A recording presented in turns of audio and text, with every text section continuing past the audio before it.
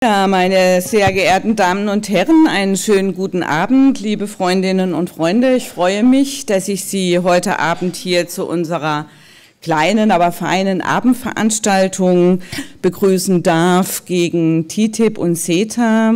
Wie können wir und was können wir tun, damit wir diese beiden Handelsabkommen und Investitionsabkommen noch mit stärkerem Protest belegen. Ähm, ich freue mich, dass Sie hier sind. Ich hätte mir ehrlich gesagt ein bisschen mehr Gäste erwartet, aber vielleicht ist auch nach dem Aktionstag am Samstag und vielen anderen Aktivitäten ähm, auch ein bisschen eine Müdigkeit da, sich weiterhin mit TTIP und CETA äh, zu beschäftigen.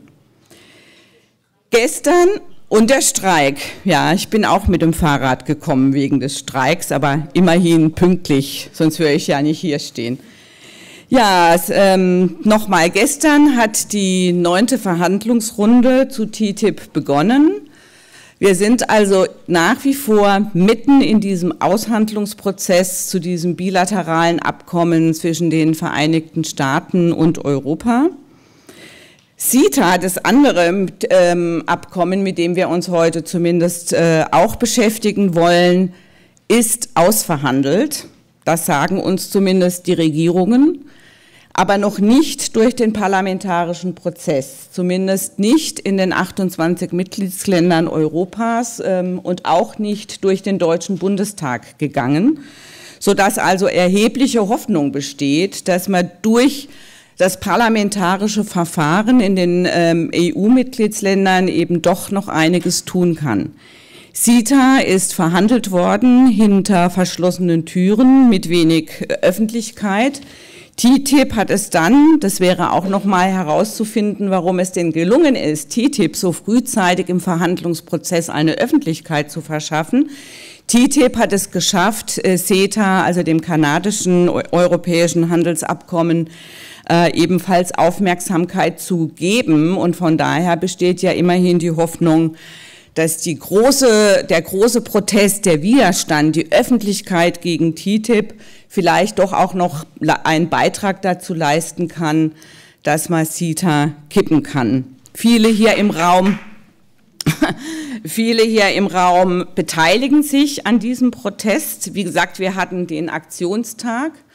Und zu TTIP gibt es was Wunderbares, nämlich äh, zum ersten Mal zumindest im Kontext eines solchen Projektes eine europäische Öffentlichkeit. Und ich denke, das ist so wichtig, dass europäische Länder gemeinsam, Aktivistinnen und Aktivisten gemeinsam versuchen, äh, dieses Handelsabkommen und Investitionsabkommen der Europäischen Union zu verhindern wie schwer es ist, europäische Öffentlichkeit zu organisieren, politische Systeme, die unterschiedlich sind, auf die Zivilgesellschaft, die jeweils anders organisiert ist. Das denke ich, sollten Sprachbarrieren, die wir weiterhin haben. Das ist schon was, wenn wir im Kopf behalten, wie, äh, äh, etwas, was wir im Kopf behalten sollten, wenn es darum geht, dass wir europäische Öffentlichkeit herstellen müssen. Umso toller ist es, dass mehr als 1,6 Millionen Bürgerinnen und Bürger Europas äh, sich in der Bürgerbewegung zusammengeschlossen haben. Hier hilft uns natürlich auch Internet, äh, die digitale Welt, dass diese Unterschriften zusammenzubringen äh, sind. Aber ich möchte auch gerne die Gelegenheit nutzen, dass jeder und jede von Ihnen helfen und beitragen soll, weitere Bürgerinnen und Bürger dazu zu bekommen, diese Bürgerbewegung Europas zu unterstützen. Und ich sage das deshalb, weil mehr als was wir bisher zu TTIP haben sammeln können, leider auch für eine andere europäische Bürgerbewegung, äh, die sich auch Bürgerinitiative Europas nennt, sammelt, äh, nämlich wenn es darum geht, ähm, Rechte von Frauen äh, abzubauen. Das sind ähm, neokonservative Kräfte, äh, die ihrerseits ähm, gegen Abtreibungsgesetze mobil machen. Lebensschützerinnen und Lebensschützer, die sind es auch, die bereits 1,8 Millionen Unterschriften gesammelt haben. Und wir sollten alles tun, denen nicht die Oberhand zu lassen, sondern eben genau die Unterschriften gegen TTIP und CETA zu sammeln. Wir möchten uns heute Abend und werden uns heute Abend ganz sicherlich beschäftigen damit, äh, wie der Stand der Verhandlungen sind. Dazu haben wir wunderbare äh, Gäste ähm, heute Abend, die darüber berichten werden. Wir haben aber mit Maud Barlow auch eine Frau, eine Aktivistin hier, die unglaublich erfahren ist, wenn es darum geht, wie man eigentlich Protest und Widerstand organisiert. Mit äh, Shefali Sharma und äh, Sharma und äh, Katharina Dröge haben wir zwei die ebenfalls äh, Schefali zumindest von den Aktivitäten ähm, transatlantisch, also was passiert in den USA, äh, uns einiges erzählen kann. Mord aus Kanada, wie wir uns gegen TTIP und CETA gemeinsam rüsten können. Äh, ich freue mich darauf, dass wir eben uns auch unterhalten wollen, wie wir auch transatlantisch und nicht nur innereuropäisch äh, unsere Netzwerke stärken müssen. Ja, auf jeden Fall bin ich jetzt bei unserem Hauptgast heute Abend bei Maud Barlow. Maud Barlow ist äh, Kanadierin. Sie ist ähm, eine der führenden Aktivistinnen der Welt, wenn es um Schutz von Wasser geht und vor allem auch, wenn es um Kampagnen geht, Privatisierung gegen Wasser zu stoppen. 2010 gelang es Maud Barlow gemeinsam mit vielen Mitstreiterinnen, ähm, die UN-Generalversammlung dazu zu bringen, den Zugang zu sauberem Trinkwasser und sanitärer Versorgung als Menschenrecht anerkennen zu lassen. Mord Barlow leitet seit 1988 den Council of the Canadians, das ist die größte kanadische Bürgerbewegung, Bürgerrechtsbewegung, äh, sie hat damit und kennt damit äh, nicht nur die Wasserkämpfe und viele andere soziale und äh, Umweltkämpfe Kanadas, sie war ganz bestimmt auch eine der wichtigen Personen mit ihrem Council of Canadians, der sich eingemischt hat in NAFTA, also den Handelsvertrag, den nordamerikanischen Kanada, USA, Mexiko. Auch davon wird einiges zu berichten sein.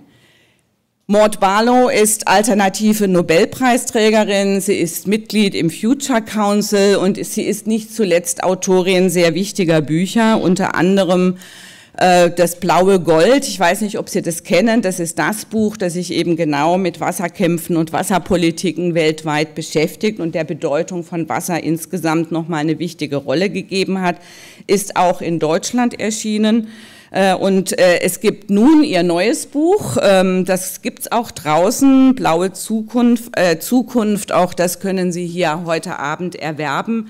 Auch da geht es einfach nochmal darum, nicht nur zu kritisieren, und das finde ich schön, dass Mord immer beides zusammenbringt, die Kritik an den laufenden Politiken, sondern sie auch Lösungsmöglichkeiten aufzeigt, wie wir mit Protest äh, eben auch andere Politiken durchsetzen können. Also Mord ist eine Frau, die Mut macht, äh, die ähm, alle begeistert, wenn es darum geht zu sagen, ja, es lohnt sich, politisch sich einzumischen und zu kämpfen. Ich bin auf jeden Fall auf Ihren Vortrag gespannt und freue mich dann im Anschluss daran auf die Diskussion mit Shefali und Katharina Tröge. Herzlichen Dank.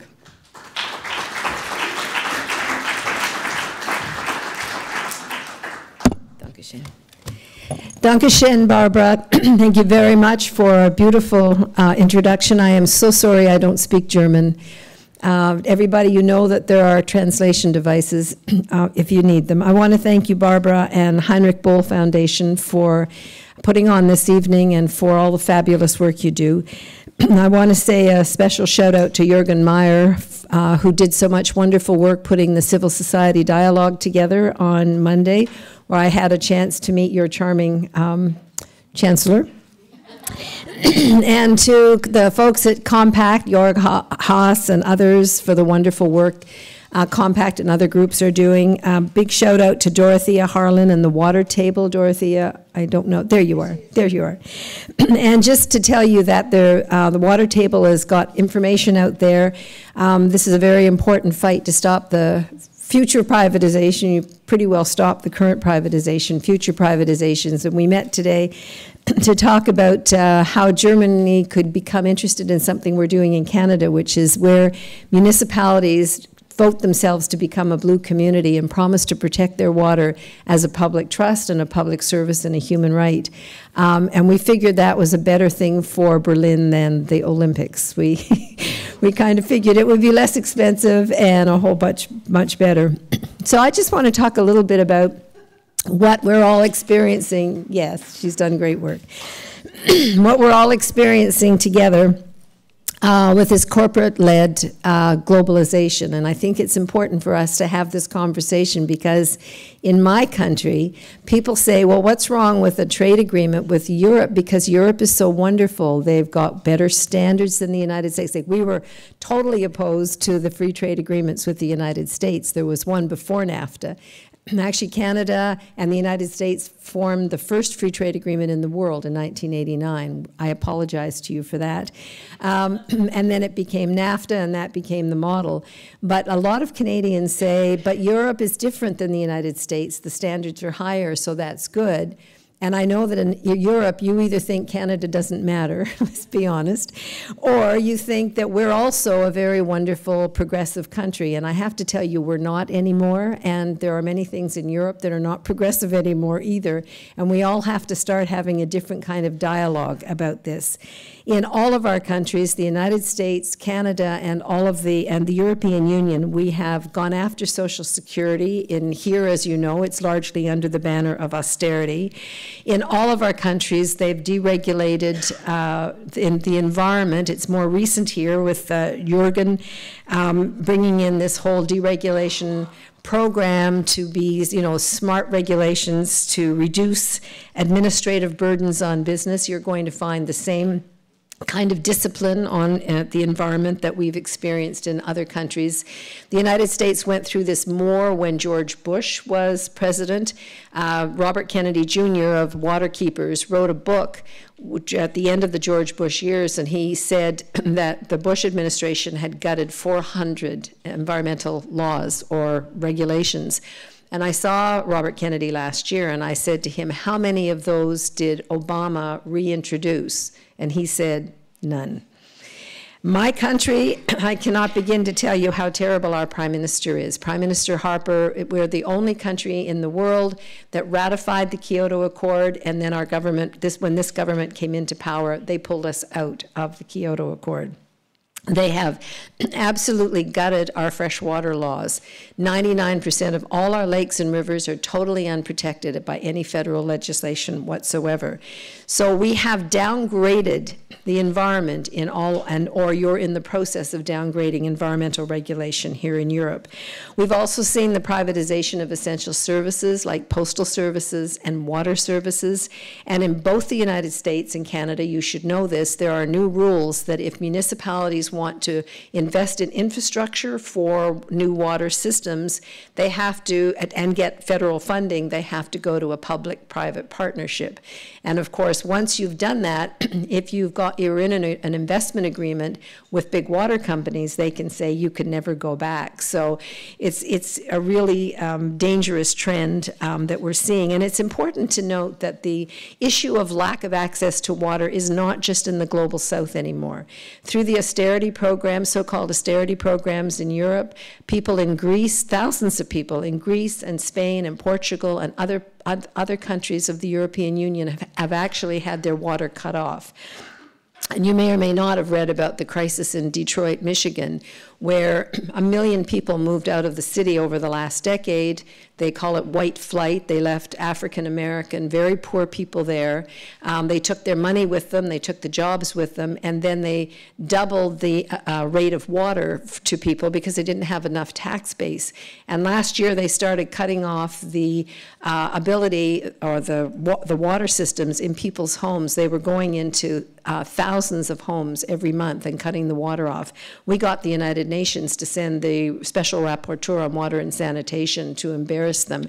But this is happening in Boston and Baltimore and other cities now. So this notion that people not having access to clean water is an issue of the global south, that's not true anymore. It's right here in, in the so-called first world. We're also seeing the privatization of foreign aid here in Europe, the European Network on Debt and Development just put out a report that said that mm, the most, most of the recent European development funds have ended up either in tax havens or in the corporate head offices of northern corporations. Really scary.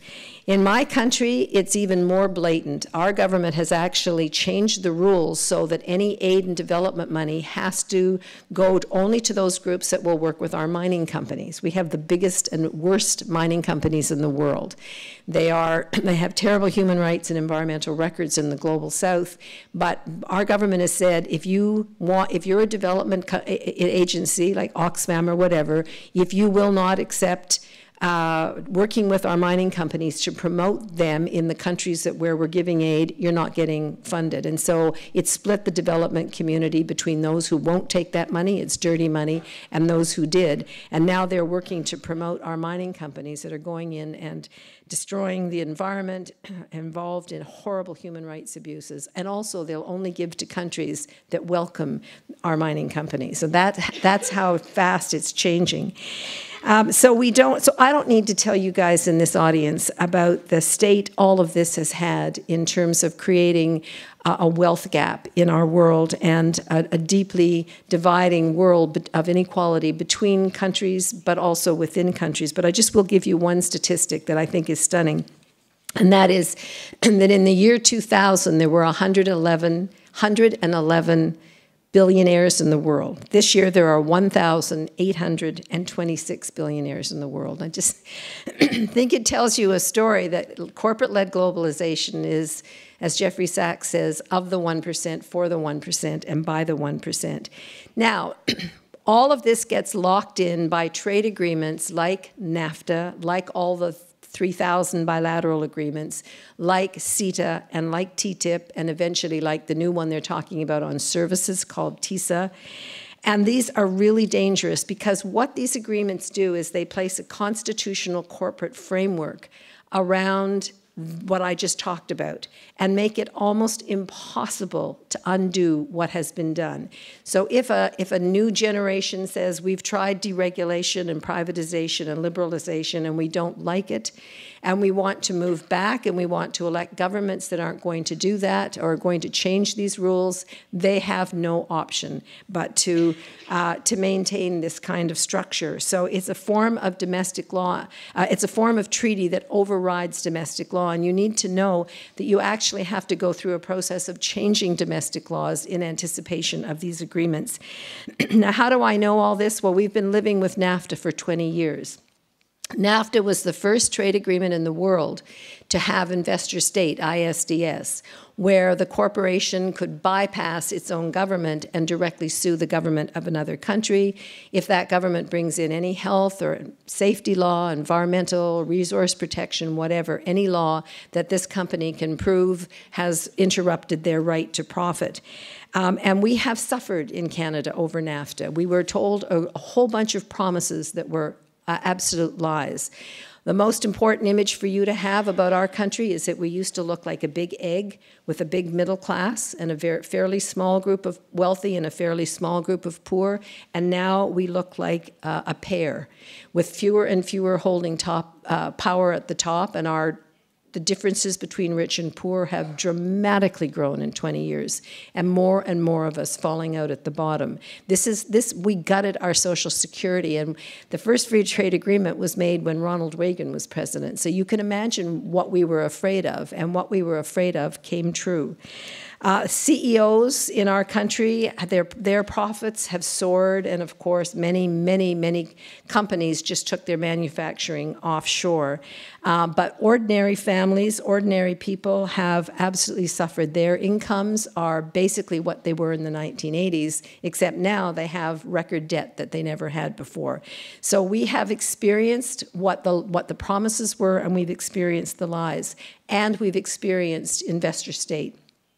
We are the most challenged country in terms of investor state challenges. There are 35 challenges that we've either had or before us now, totaling at the moment 2.6 billion US dollars against Canadian uh, laws, against the Canadian government for laws or practices in Canada. And these are all by American corporations protected by NAFTA. Um, there are so many of them, but I'll just give you a few examples. One is over a moratorium the province of Quebec brought in on fracking. Uh, one is, uh, again, Quebec brought in a ban on um, pesticides, lawn pesticides. The American company that was selling this stuff in Canada is suing for millions of dollars. An oil company, ExxonMobil, just won a whole bunch of money from a NAFTA challenge because the province of Newfoundland, where they were operating had the nerve to say, Would you please put some money into research and development and help us build a local economy? You're not allowed to do that. And so they went to court, uh, a NAFTA challenge, a, tribunal, and they won. Um, a company called Eli Lilly, which is a big uh, US drug manufacturer operating in Canada, wanted to extend its patent. Its patent was 20 years, it was up. So they put it into a new pill and they said it's a new patent. And the government in Canada said, no, it's not. So they went to court three, times, three levels, including the Supreme Court. And the Supreme Court said, go away, your patent's finished, right? They're challenging for 500 million US dollars, and they're probably going to win. Now, this is not only in Canadian law that they're challenging, they're challenging the decision of our courts. And our courts are good courts. I mean, this is a mature court system and, and, interpreting a law that Canadians wanted, and it doesn't matter to these companies. And you can you can see by this that these companies come back again and again and again. there was another one that you should know about that I think is the most important of them all because it sets a very bad precedent. A pulp and paper company from the United States was operating again in Newfoundland for decades. They went bankrupt, which means that they didn't want to pay their debt, so they just con- con- reconfigured under a new name. And they left. They left the jobs, they left the pensions unpaid, and then they turned around and they said to the Canadian government, We want compensation for the water rights we left behind. The province of Newfoundland said, That's our water. You have the right to use it when you're creating jobs here. And they said, No, it's our water. And our government, without even going to an NAFTA panel, gave them $130 million. Now, the dangerous thing, now stop and think about this.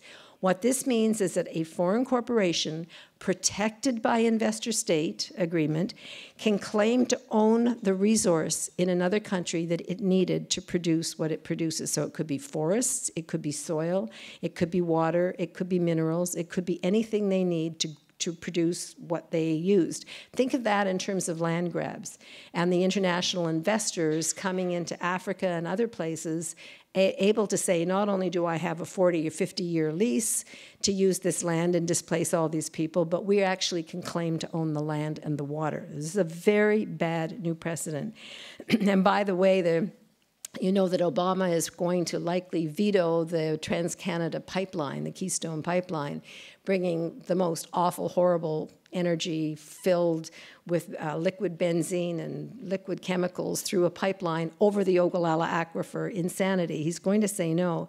The Canadian company is likely to challenge through NAFTA. So, you know, we, and we kind of, all of us in the movement in North America kind of hope they do because the United States never loses any of these challenges. And we want them to have a feeling of what it's like to be on the losing end, which we've had.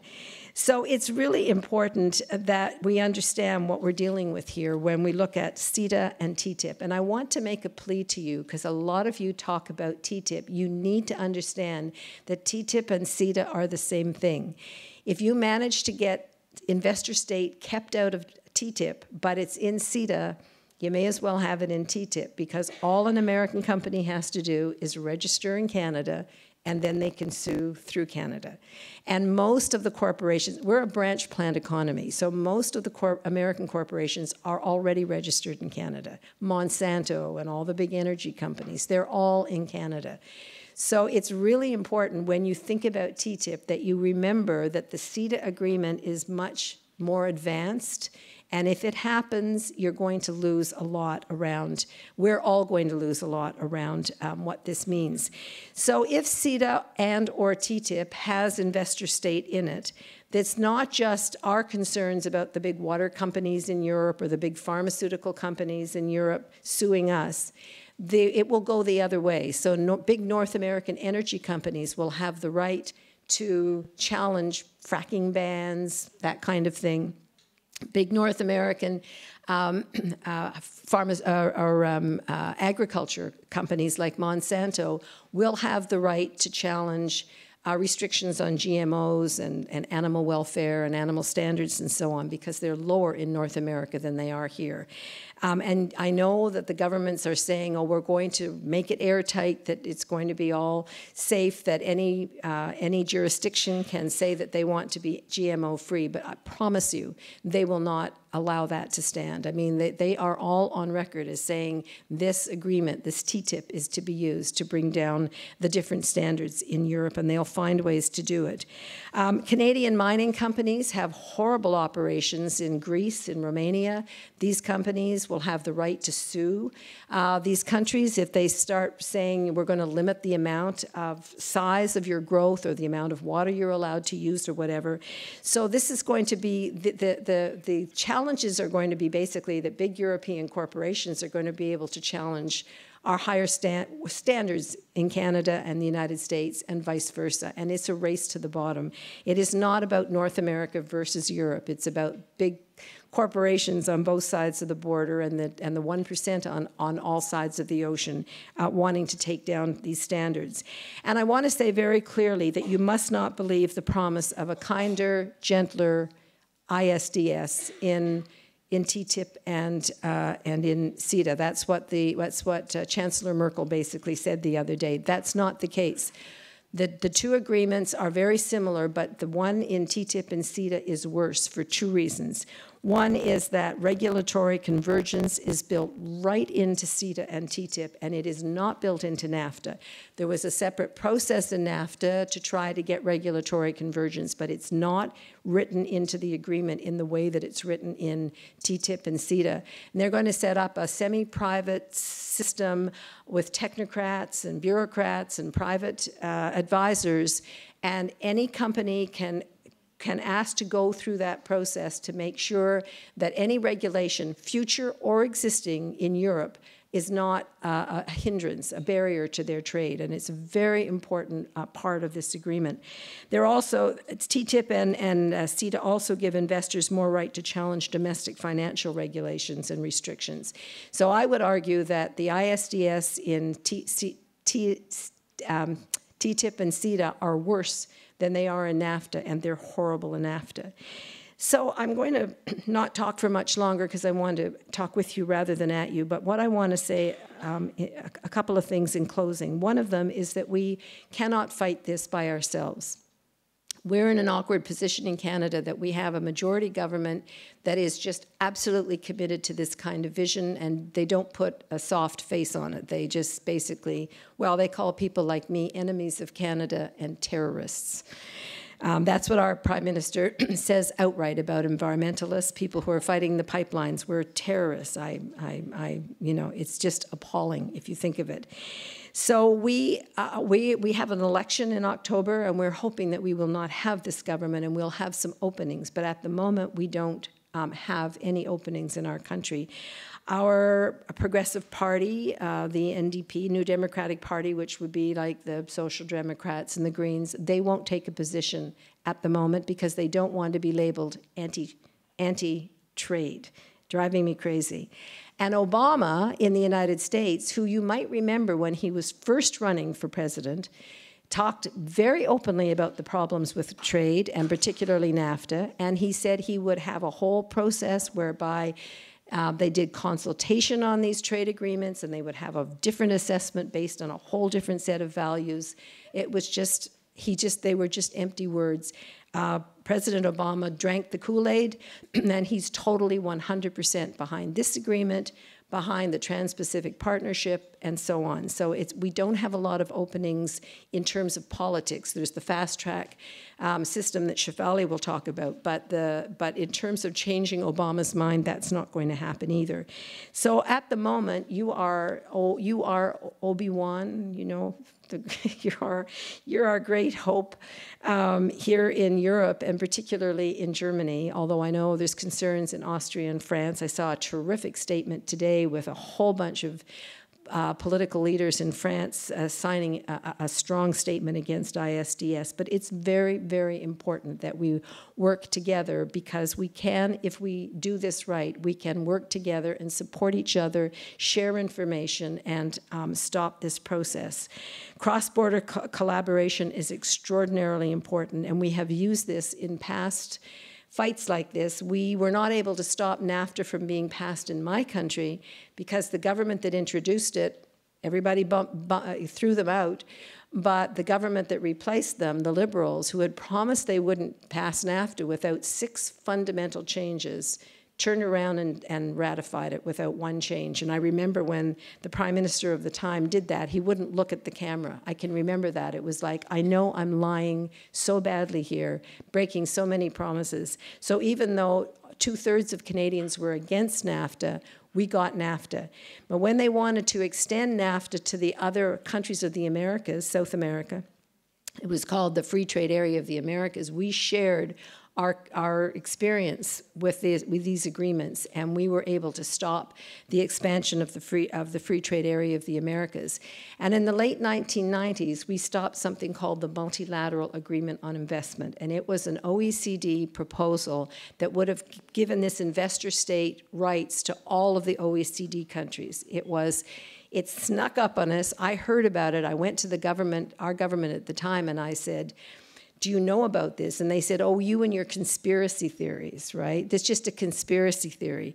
When I hear about a conspiracy theory, I think about two cows on a hill, and one of them's always reading something, and the other one says, why don't you relax? You're always reading conspiracy stuff. And this time, the other cow says, yeah, but I'm reading something called what, Where Beef Really Comes From. You know, it's just like, it's, you know, I mean, Okay, so I the, the conspiracy turned out to be true. They were almost 90% through the MAI when we got it in a brown paper bag, and we shared it with Lori Wallach in, in the US and our counterparts here in Europe, and we just exploded it everywhere, and we built a movement, and we won. Germany was the first country to pull out, France pulled out, Canada pulled out, and it collapsed.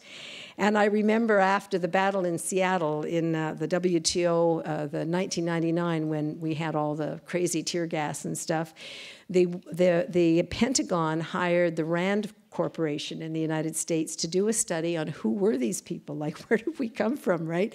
And it, it, it is a riot. You have to read this thing. What they said was, well, we, they're like mosquitoes. We can't find their leadership. They're everywhere and they sting and we can't stop them. You know, it was like they, we'll spray them a bit with tear gas and stuff, but they keep coming back. It, it's a very funny analysis. So I always think about it as a, as a bunch of little stinging uh, mosquitoes. So we have a lot of work cut out, and we need to do this work together. And I just want to end with um, uh, one more message of hope, and that is that, Barbara, you kindly referred to the uh, fight for the human right to water when we introduced, it just was a confluence of marvelous things. Uh, a man named Father Miguel Descado Brockman from Nicaragua, a, a theologian, revolutionary theologian priest, um, was named president that year, the year 2009 10, of the General Assembly. So it's only a one year term. And he got a hold of me right away and he said, I want to make water crucial to my year here. I want to, I want to do this, right? Wanted to get water recognized as a human right. And the Bolivian ambassador was named Pablo Solon, and he had introduced me to President Evo Morales of Bolivia before Evo Morales was president. And Evo Morales said to me, If I ever become president, I am promising you that we will help you get the human right to water and sanitation passed. So Father Miguel and myself and Pablo Solon put together a little team, and we were up against such opposition. I have to say, Germany was terrific. Your country was very supportive, but most were not. The United States was opposed. My government led the opposition. All the big water companies were against it. The World Bank was against it. The World Water Council was against it. And countries kept saying, you really have to study it some more. We need to study some more how many children are dying and why. You know, let's study it some more. And Pablo said, no, we're just going to do this. So he put a resolution to the General Assembly on July 28, 2010. and he just and he wouldn't change it he they kept saying well you've got oh, it's too strong it's just too direct you've got to take out sanitation because it's too expensive and he said i would rather lose a bad resolution uh, uh, yeah, I rather lose a good good resolution than win a bad resolution. I'm going to put it to the General Assembly, and let's see who has the nerve to vote against the human right to water. So he got up and he gave one of the most beautiful speeches. There was a new study that had just come out on child deaths in the global south, and he said it's a World Health Organization study that said every three and a half seconds a, a child dies of waterborne disease in the global south. And then he held up three fingers like this and then kind of a half a finger right? And the whole place just went silent and I was standing up on the in the balcony with my husband Andrew and some of the staff and my staff were in tears because we were sure we were going to lose. I was just sure because it was going to go to a vote and I was saying don't you worry we're going to we'll be back in 5 years or 10 years. We won't give up. We'll keep fighting but and so exciting that we're here. I was trying to prepare them for this loss right? So when they vote at the general assembly they stay in their seats and it all goes up on a great big electronic board at the front so they voted, and immediately we were able to see 122 countries voted in favor. Not one country voted against. In fact, they 41 countries abstained, including the United States and Canada. Germany, of course, supported it. Um, and the place erupted in cheers. And I'll never forget uh, Ambassador Solom from Bolivia was in the balcony with us, and he was standing there just smiling, you know, with his arms crossed. And one after another, the ambassadors from the country turned and yelled at him, and you made you forced us to do this before we were ready. And I will always remember the in English, we call it a shit eating grin. You know, he was standing there with like saying, What part of we just won and you didn't do you not understand? And it was a, a sweet moment. And since then, a whole number of countries have revised their constitution, have come up with plans. It has, of course, it hasn't made everything better overnight. And I mean, the world outlawed torture in 1948 and it still exists. But as a human family, we came together and we said no child should have to die because their parents cannot afford water. And you know, nobody should have to go put their children to bed at night without clean sanitation. No girl should have to not be able to go to school because there's no facilities and she has to walk with her mother all those kilometers every day. This is what the, the global community of humans came together and said, and we took a, a step forward. So I think these trade agreements are the dying gasp of a regime that's dying. Eh, the world cannot sustain what's happening here. We cannot sustain it's not just the inequality. I mean, don't get me started on the stats on water. We are a planet running out of clean water. It's not drought in California, they're running out of water. It's not drought in China. Half the rivers in China are gone since 1990, you know? We can't keep having more and more stuff and more and more corporate power and more and more corporate grab of what is the common good, what is the public trust.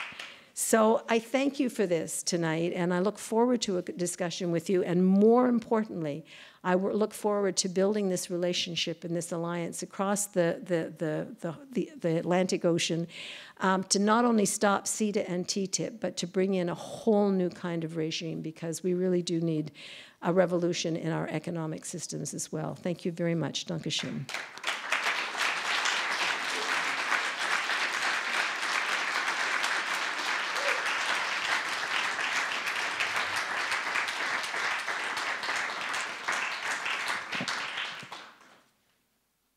Guten Abend, mein Name ist Christine Chemnitz und ich werde Sie weiter durch diesen Abend führen. Mord, ähm, danke dir so sehr für, diese, für die Präsentation, für deine Rede, mit der ähm, du hast mich gerade in den letzten Minuten noch mal so, so ähm, ja, auch einfach beflügelt, weil ich gedacht habe, es ist so wichtig, immer wieder die Fakten zu teilen und es ist so wichtig, sich gegenseitig zu erzählen, was gerade verhandelt wird. Aber genauso wichtig ist es, zu hören, wie gut es sich anfühlt, Kämpfe zu gewinnen und dass es sich wirklich lohnt, sie zu kämpfen. Und alleine an dieses Gefühl daran teilzuhaben zu können, wie ihr auf diesem Balkon standet, hat sich schon, also sozusagen dadurch hat sich für mich schon der ganze Abend gelohnt.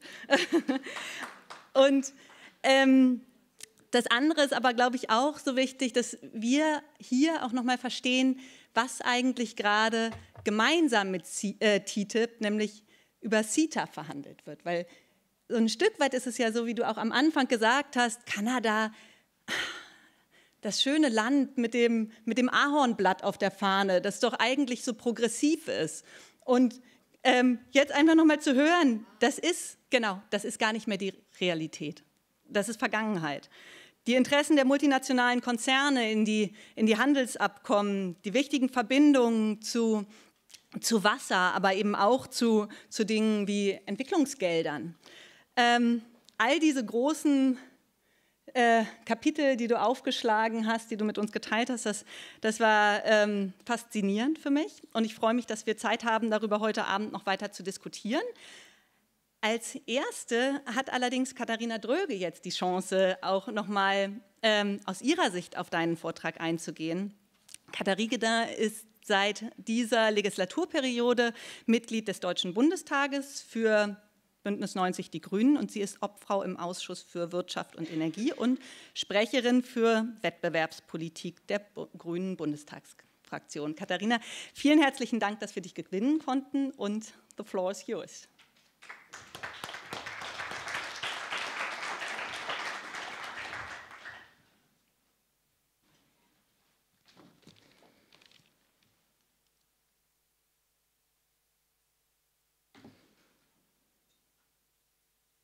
Ja, auch von meiner Seite aus erstmal einen schönen guten Abend und vielen Dank für die Einladung. Vielen Dank für die Gelegenheit, hier heute Abend zu diskutieren und auch danke, Mord, dir für deinen Vortrag. Ich muss ganz ehrlich sagen, als Bundestagsabgeordnete, die jetzt zum ersten Mal im Deutschen Bundestag sitzt seit dem Jahr 2013 und für die der Kampf gegen CETA und TTIP jetzt das erste große Projekt ist dieser Art, ähm, in, meiner politischen, in meinem politischen Leben ist das wirklich sehr hoffnungsvoll und inspirierend gewesen, ähm, was du geschildert hast.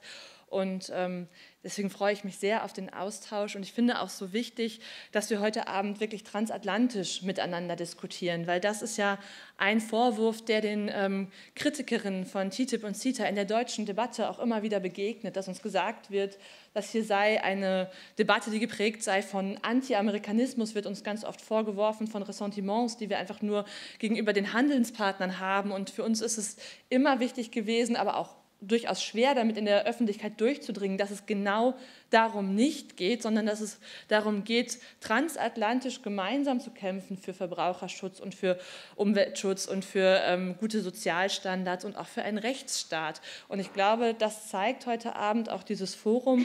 Und deswegen freue ich mich wirklich sehr, dass wir wirklich transatlantisch miteinander diskutieren können. Wir sind hier in Deutschland auch wirklich in einem kritischen Zeitfenster. Deswegen ist es so wichtig, dass die Debatten jetzt stattfinden. Ich würde dazu gerne auch ein bisschen darstellen, wo wir uns in den beiden Handelsabkommen eigentlich gerade in den Beratungsverfahren befinden. CETA, das wurde ja schon gesagt, ist eigentlich ein Abkommen, das ausverhandelt ist, das dem Deutschen Bundestag am 5. August des letzten Jahres zugeleitet wurde. Und es hieß, damit sind auch keine Änderungen an diesem Abkommen mehr möglich. Seitdem befinden wir uns in einem ziemlich merkwürdigen Zeitfenster für Handelsabkommen, denn eigentlich wären wir jetzt nur noch in der Phase der sogenannten Rechtsförmigkeitsprüfung, wo äh, geprüft wird, ob die Rechtsbegriffe auch alle so ähm, stimmen in den Abkommen. Tatsächlich sind wir politisch, auch bedingt durch die TTIP-Debatte, aber in einem Zeitfenster, wo noch sehr viel Dynamik entsteht. Ein Beispiel dafür war jetzt die europäische Konsultation zum Thema Investitionsschutz in TTIP. Die Ergebnisse wurden jetzt im Januar veröffentlicht. 150.000 Menschen haben teilgenommen und haben Stellungnahmen dazu abgegeben, wie sie das Investitionsschutzkapitel in TTIP bewerten. Und 97 Prozent haben diesen Entwurf abgelehnt. Und das hat eine enorme Auswirkung gehabt auf den Deutschen Bundestag, auf die Bundesregierung, auch auf die Europäische Kommission.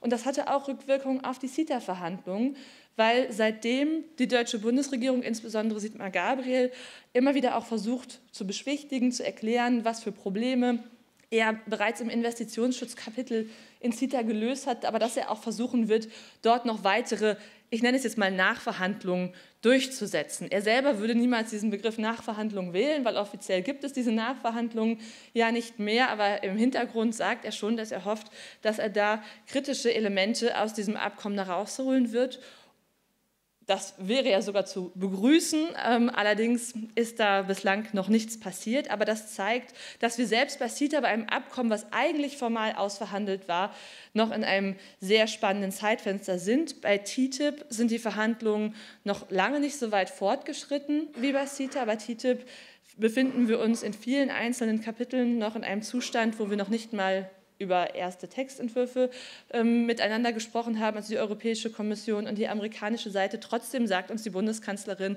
sie würde gerne Ende dieses Jahres die TTIP-Verhandlungen abschließen. Das hat natürlich was mit deutscher Innenpolitik zu tun. Der Druck auf die Bundesregierung wird stärker und die Hoffnung ist da, dass wenn man das Ganze schnell durchzieht, dass man sich damit auch ein Stück weit entlasten kann von den kritischen Fragen der Bürgerinnen und Bürger. Das hat auch was mit dem amerikanischen Präsidentschaftswahlkampf zu tun, der bald ähm, anfängt und wo die Befürchtung ist, dass sobald das Thema dort richtig losgeht, man wahrscheinlich auch nicht mehr zu einem Abschluss dieser Handelsabkommen kommen kann. Ich selber halte es auch nicht für realistisch, dass es gelingen wird, TTIP in diesem Jahr abzuschließen. Aber die politische Erklärung, der politische Wille ist da. Und deshalb ist es so zentral, jetzt auch massive Kritikpunkte zu formulieren, massiven Widerstand zu formulieren. Jetzt ist das kritische Zeitfenster, wo wir gemeinsam auch sehr viel bewegen können. Wichtig ist in der Debatte auch noch, sowohl bei ähm, TTIP als auch bei CETA, dass wir uns in einer Erklärung äh, befinden, wer eigentlich am Ende abstimmen darf über diese Abkommen. Das ist für uns als Abgeordnete des Deutschen Bundestages nämlich immer noch nicht klar. Ähm, das heißt, unter dem Stichwort gemischtes Abkommen wird geprüft, ob dieses Abkommen am Ende ein Abkommen ist, das vom Europaparlament und vom Europäischen Rat alleine beschlossen wird oder ob es auch durch alle Parlamente aller Nationalstaaten gehen muss. Wir persönlich vertreten die Rechtsauffassung, dass das Ganze so ist, aber das ist auch eine Frage, die noch nicht in der Debatte geklärt ist, die jetzt gegebenenfalls anhand des Abkommens mit Singapur geklärt wird. Also auch das ist noch eine offene Frage, die für TTIP und CETA relevant wird und natürlich damit auch für unseren Protest hier in Deutschland, weil wir natürlich auch ganz andere Möglichkeiten haben, die Abkommen zu kritisieren, wenn sie auch im Deutschen Bundestag zur Abstimmung nochmal gestellt werden und die Bundesregierung sich auch rechtfertigen muss, was da verhandelt wird.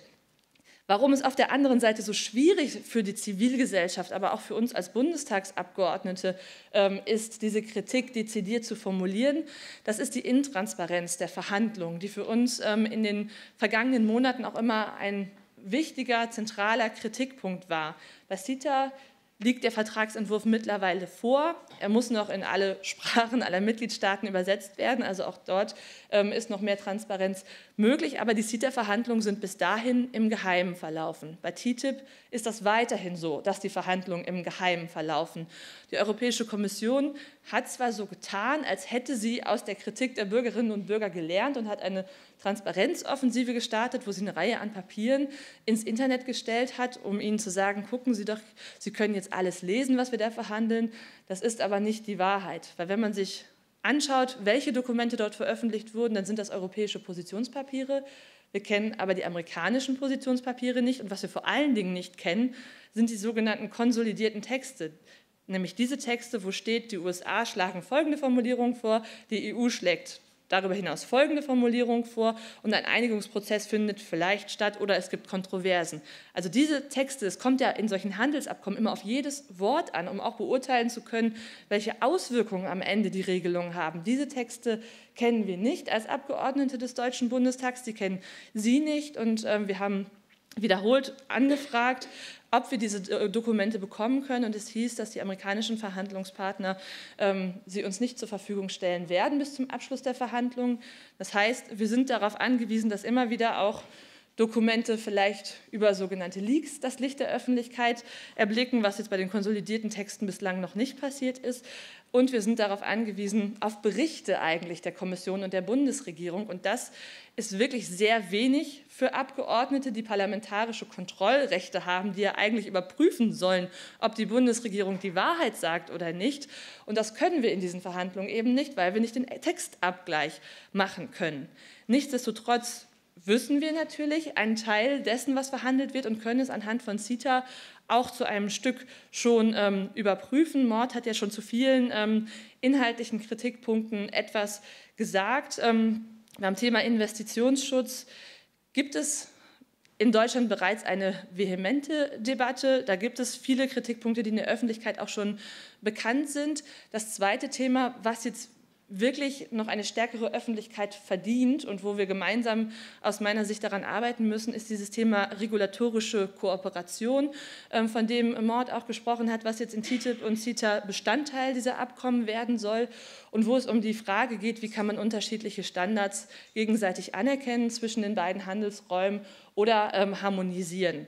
Und gerade bei TTIP haben wir da wirklich noch sehr viele Fragezeichen, denn wenn man sich die regulatorischen Unterschiede zwischen den USA und der EU anschaut, dann sind diese Unterschiede einfach immens. Das ist mit Kanada teilweise ähm, nicht in diesem starken Ausmaße. Da sind unsere regulatorischen Regime noch ähnlicher, auch wenn es tatsächlich da auch Unterschiede gibt. Aber mit den USA sind diese regulatorischen Unterschiede noch höher. Und auch da geht es mir wiederum nicht darum, eine pauschale Kritik an den anderen Ländern zu formulieren. Beispielsweise in den USA gibt es Standards im Bereich Quecksilber, Emissionsgrenzwerte von Kohlekraftwerken, die sind höher als in der Europäischen Union. Oder im Bereich der Finanzmarktregulierung gibt es auch Regelungen, die sind besser, als die die Europäische Union getroffen hat. Das heißt, und es gibt auf der anderen Seite im Bereich, der, ähm, im Bereich des Verbraucherschutzes, beispielsweise im Bereich der Chemikalienregulierung, ähm, deutlich höhere Standards, die die Europäische Union gesetzt hat. Und was das Problem jetzt an diesem Verfahren der gegenseitigen Anerkennung ist, ist die Befürchtung und das, was man aus den Dokumenten jetzt schon erkennen kann, dass es eben in den Verhandlungen darum gehen wird, dass man sich nicht auf den höheren gemeinsamen Standard einigen wird, sondern dass es einen Druck auf die Standards geben wird, sich auf niedrigere gemeinsame Standards zu einigen und das insbesondere, was Mord auch gesagt hat, dass man dann Pro ein Problem haben wird, neue Standards zu setzen, zukünftige Standards in Bereichen, die jetzt noch nicht reguliert sind. Für uns ist das vielleicht der Bereich der Nanotechnologie, wo man in Zukunft neue neue Standards setzen will und wo die Frage ist, ob diese Handelsabkommen dann den Druck ausüben werden, diese Standards nicht mehr zu erhöhen durch Verfahren, die in den Handelsabkommen enthalten sind. Und das Dritte, was ich noch sagen will, und das geht in der Debatte immer so ein bisschen unter, wir konzentrieren uns in unserer Kritik an TTIP immer sehr und an CETA immer sehr stark darauf, was in den Abkommen enthalten ist. Wir stellen uns wenig die Frage, was in diesen Abkommen eigentlich nicht drinsteht. Nicht drinstehen tun nämlich Regelungen, die zum Beispiel eine stärkere verbindliche Regulierungskooperation enthalten würden.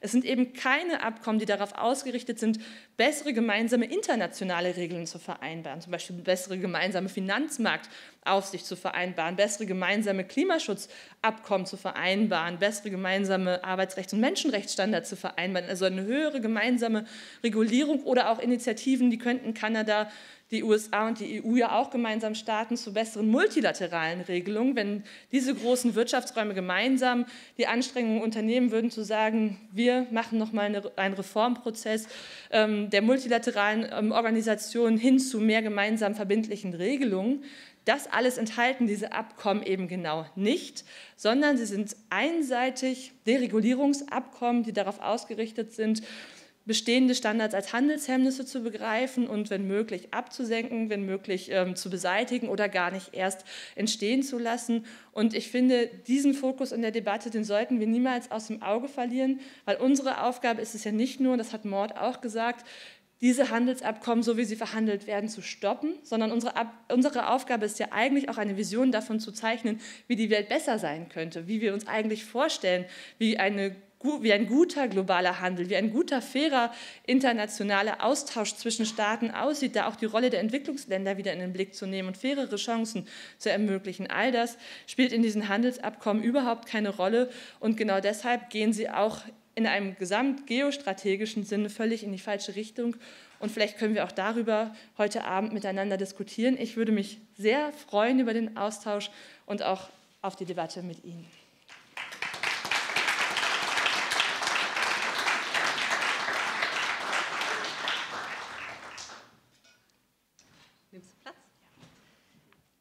Vielen herzlichen Dank, Katharina, dafür, dass du auch noch mal gezeigt hast, wie ist die Situation in Deutschland, in Europa. Ähm, mich hat auch noch mal erstaunt, wie äh, gering doch auch der Zugang von den Mitgliedern des, des, des, Parlaments wirklich zu Informationen ist. Würde ich auch gerne später noch mal drauf zurückkommen. Aber jetzt möchte ich erst mal vorstellen Shefali Sharma, unsere letzte Rednerin vom Institute of Agricultural Trade Policy ähm, aus den USA, Minneapolis. Und ähm, Shefali ist Programmdirektorin für den Arbeitsschwerpunkt landwirtschaftliche Güter und Globalisierung und beschäftigt sich mit ganz, seit ganz, ganz vielen Jahren mit unterschiedlichen handelspolitischen Kontexten, arbeitet mit mir zusammen viel zum Thema äh, Fleisch und äh, Futtermittelhandel und alles, was damit zusammenhängt. Und ähm, sie veröffentlicht auch ganz viel zu den Themen Freihandelsabkommen und deren Auswirkungen auf Landwirtschaft. Shefali, deine Sicht der Dinge aus den USA und was die Bewegungen dort tun.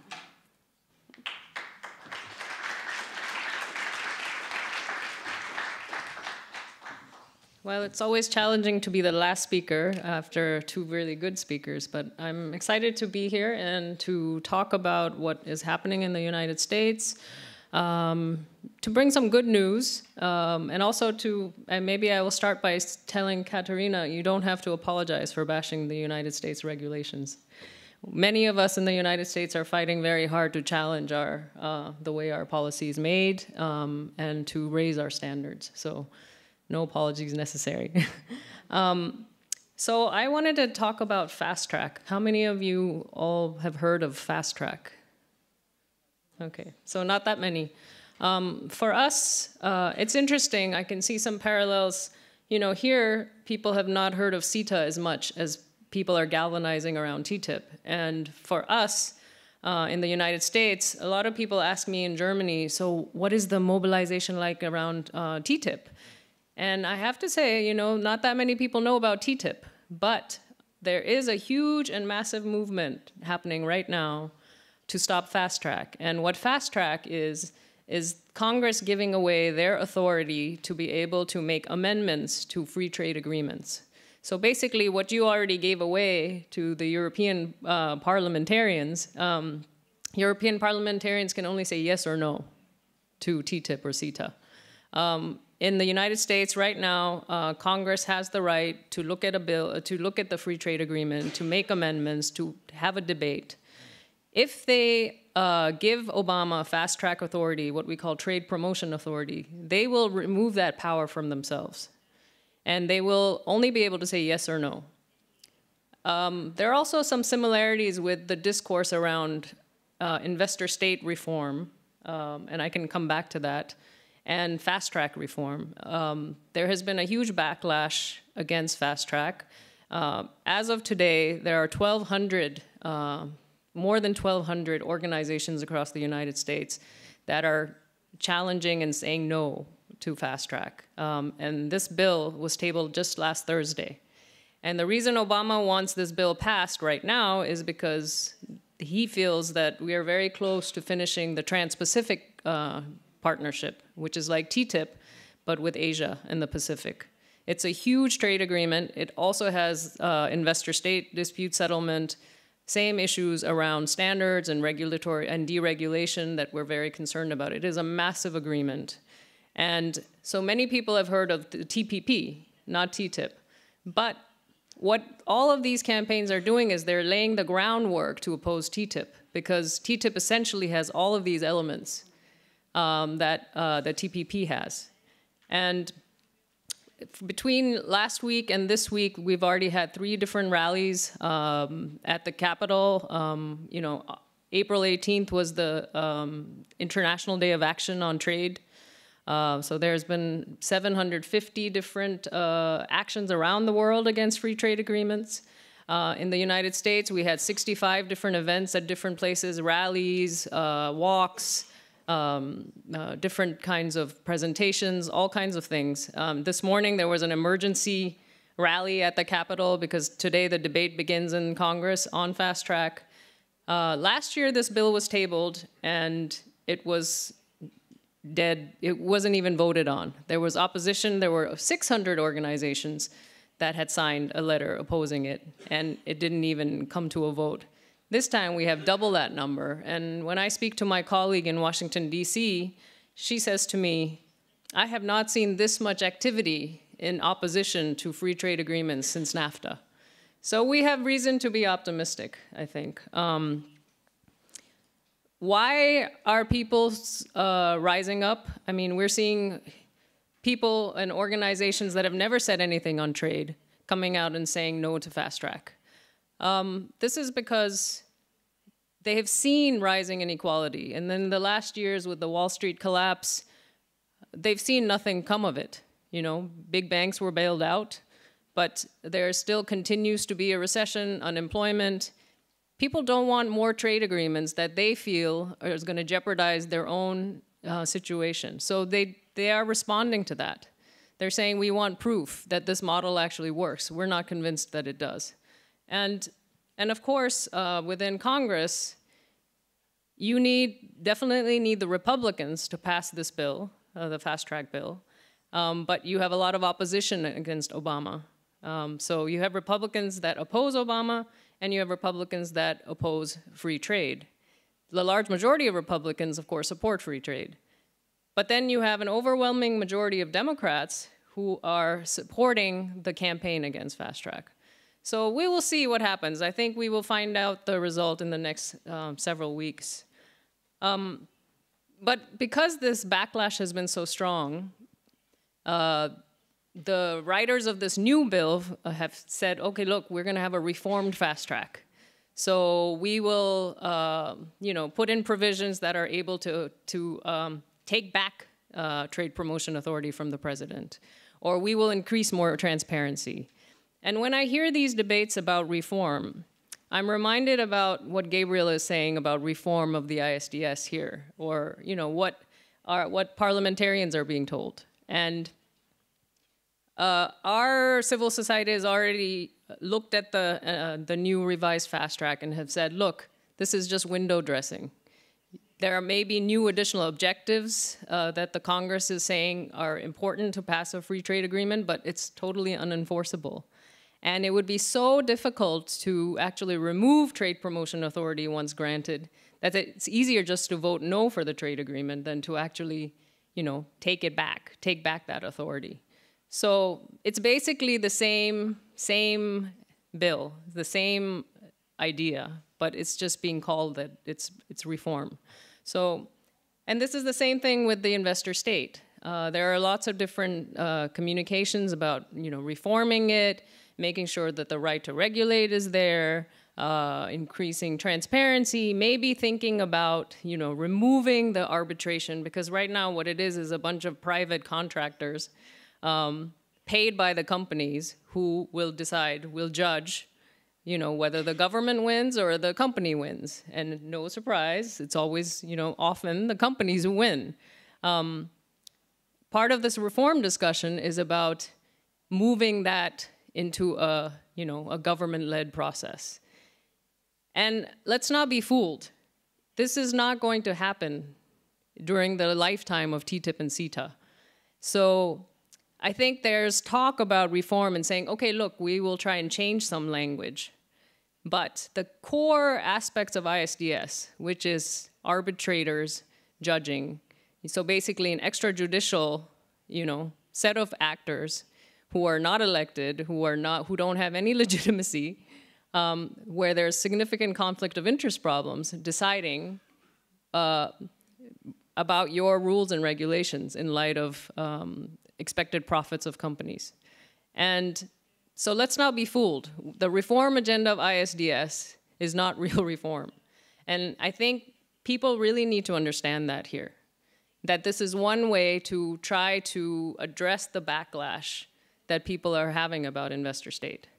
Um, I think in the United States, there's also a movement against investor state. It is true, the United States has never lost a case but there are so many different cases that people are finally starting to say, and because there's so many rules at stake, the this is a TTIP, for instance, is an agreement about you know regulations and standards um, at the national level, at the at the subnational level. So of course it matters whether uh, the government still retains their right and whether our national judicial systems actually work. Um, and so, you know, Elizabeth Warren, for instance, uh, is a Congress uh, representative who has spoken out uh, very strongly against this.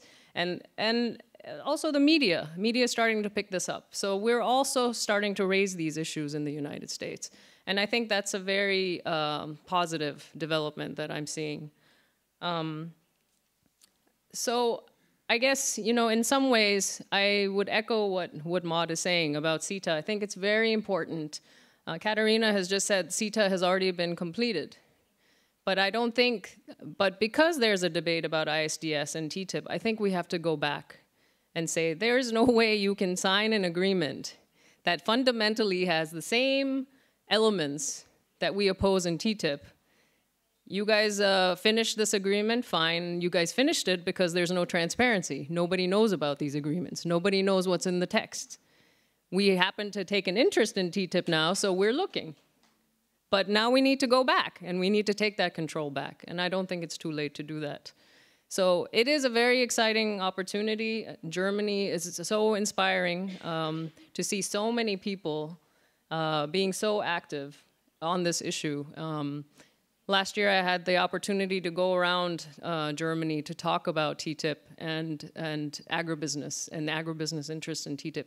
And I was amazed. I was amazed to see so many people coming out in small places in the Allgäu or up, you know, close to the north. And I, it, was, it was fantastic. And they stayed for three hours. We would talk from 7 to 10 at night about these issues.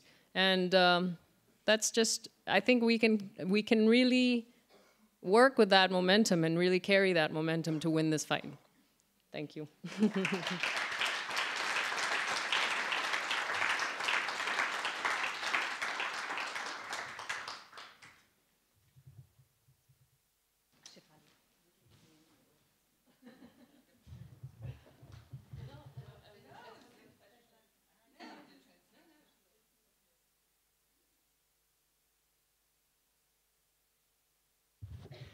thank you all for sharing your. Ah, nee, ich sollte ja Deutsch sprechen. Genau, das ist auch viel einfacher für mich.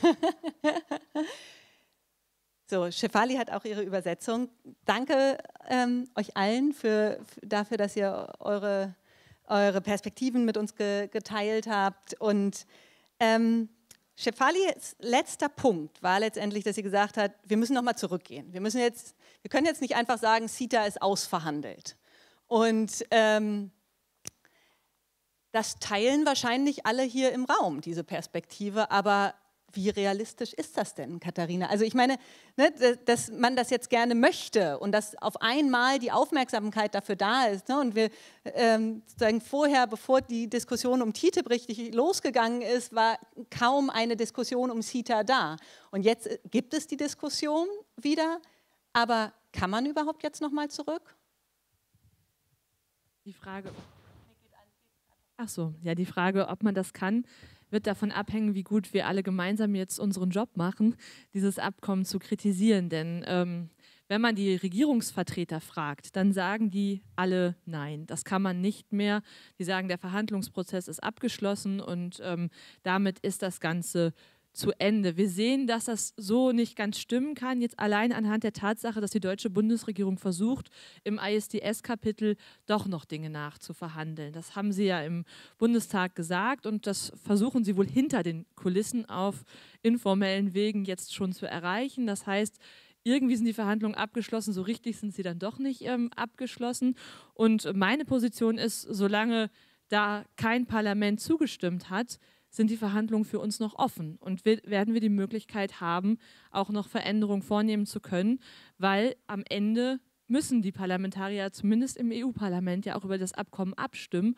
Und wenn wir sagen, so wie das Ganze jetzt aussieht, werden wir dem nicht zustimmen, was sollen die Regierungen denn machen? Entweder sie sagen dann, gut, dann ist das Abkommen eben gescheitert, dann haben wir viele Jahre umsonst verhandelt, oder sie werden versuchen, das Ganze nochmal aufzumachen, was ich dann für den realistischeren Weg hielte und deshalb ist es so wichtig, dass wir jetzt gemeinsam unsere Kritik formulieren und gemeinsam immer wieder auf die Straße gehen und auch Kritik an CETA formulieren und nicht nur Kritik an TTIP formulieren, weil dann haben wir tatsächlich die Möglichkeit, auch da nochmal Bewegung zu erzeugen.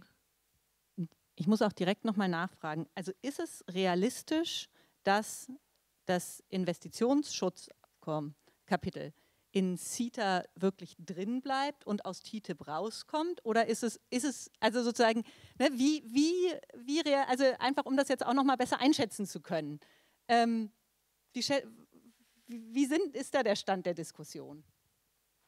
Es gibt niemanden auf europäischer Ebene, der sagt, dass das ISDS-Kapitel komplett rauskommen soll aus CETA. Also von denjenigen, die das Ganze verhandeln. Das sagen die Bürgerinnen und Bürger, das sagt die Zivilgesellschaft, aber das, was die Bundesregierung sagt, was die Europäische Kommission sagt, was maximal jetzt vorstellbar sei, sei, dass man nochmal bei einzelnen Rechtsbegriffen Präzisierungen vornimmt. Sigmar Gabriel hat versucht, den Anschein zu erwecken, als würde er das tun, indem er ein Positionspapier veröffentlicht hat mit anderen demokratischen Handelsministern, das heißt Improvements to CETA and Beyond. Da steht dann beispielsweise drin, dass er sich eigentlich einen internationalen Handelsgerichtshof wünscht. Nur wenn man dieses Papier genau liest, dann ist dieser internationale Handelsgerichtshof der Teil, der sich auf End Beyond CETA bezieht und eben nicht auf CETA. Das heißt, ähm, wir müssen, also bislang ist das Ganze sehr, sehr schwierig, da ISDS rauszubekommen aus diesem Handelsabkommen.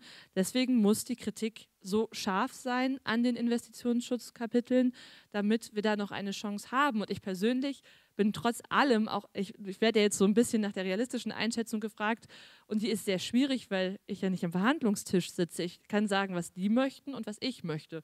Und ich möchte, dass auf keinen Fall Schiedsgerichte in diesen Abkommen enthalten sein werden. Ich glaube allerdings auch, dass die beiden Abkommen an der Stelle zusammenhängen. Wir werden das nicht bei TTIP rauskriegen und bei CETA drin äh, behalten. Das wird nicht passieren, sondern entweder wir gewinnen die Schlacht, sage ich jetzt mal so, und machen klar, der Deutsche Bundestag und vielleicht auch viele andere Mitgliedstaaten werden keinem Abkommen zustimmen, das Schiedsgericht enthält, dann sind die bei beiden raus. Oder wir schlucken einmal die Kröte und dann wird es sehr schwer, sie bei dem anderen nicht ähm, auch zu schlucken. Deswegen hängt das an der Stelle so eng zusammen.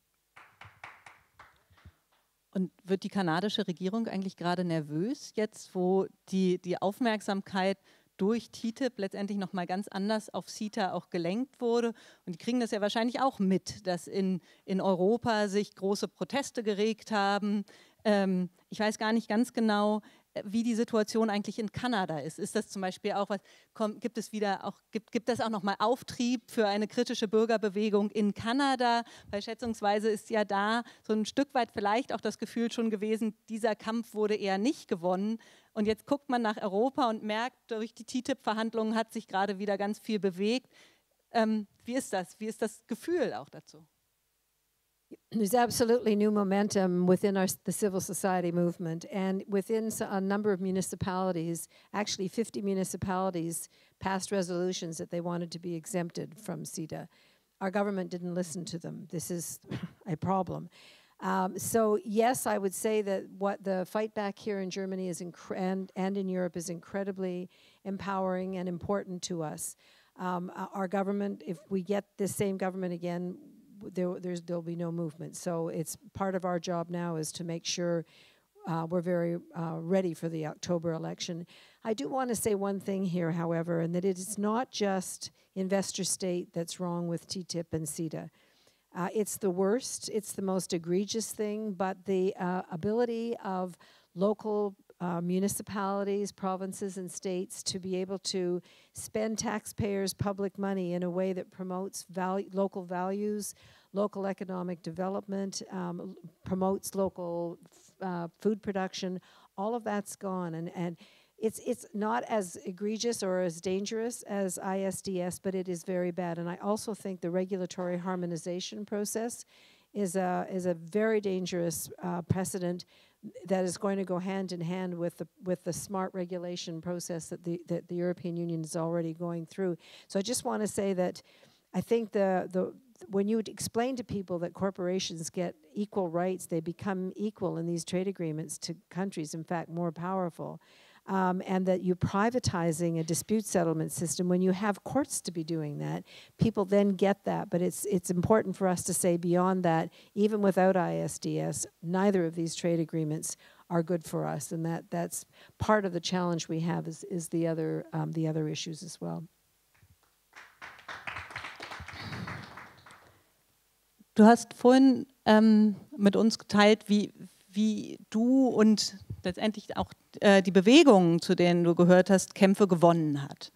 Wenn wir jetzt nochmal CETA und TTIP uns angucken, was sind letztendlich die, die wichtigsten, vielleicht so Erfolgsbedingungen oder Faktoren oder worauf müssen wir uns als Zivilgesellschaft jetzt unbedingt stürzen, um diese Kämpfe noch gewinnen zu können? Well, I, I, again, I think oh, our government has said it will not renegotiate. So that if the if the if the movement here is strong enough to actually force the discussion of of either renegotiation or in certain in certain uh, states in, in Europe, it will not it will not be passed. Then we're then it's finished. We go back to the drawing boards and we start again, and that gives us an opportunity to talk about the kind of trade and investment agreements that we would agree with that promote human rights and justice and local sustainable food production and so on. That those kind of agreements. So I think the world's ready to hear that. Um, so my big dream would be that it all collapses and that that it falls under its own weight. And you know, I've seen enough of this. I've I've been at, at the World Trade Organization meetings where they collapsed. I remember being in Cancun. Uh, Shafali was there too, and the African delegation got up and said, "What part of no do you not understand?" And then it's just, and we were all standing outside. We had this song ready to go. Um, the Beatles, "Money Can't Buy My Can't Buy Me Love." Well, we had written rewritten it as "Money Can't Buy the World." And the media had nobody to talk to because all every all the the nation state you know delegates all ran off and there was nobody to talk to except to listen to us sing that money can't buy the world. And we were like on television all over the world and on the front pages of uh, I was on the front page of the Hong Kong Daily News and so on because because we worked with our allies inside and we were able to we were able to tip the balance. And I, I, I feel that we I mean, you know, we may lose this one. I, I, I, understand that, but I, I honestly think we can win this one. I think that the, the weight of public opinion is changing on both sides of the Atlantic. We have to stay strong and not not believe them when they say that this is a done deal. I'd like the whole thing gone, dead.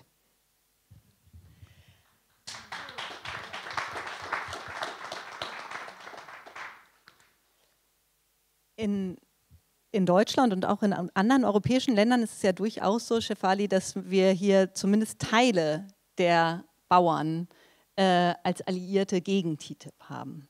Wie ist das denn in den USA? Ist ähm, die, die Agrarwirtschaft oder die, die Bauern, die Landwirte oder die Agrarindustrie, wenn du da noch ein, zwei Worte zu sagen willst, wie stehen die denn zu TTIP?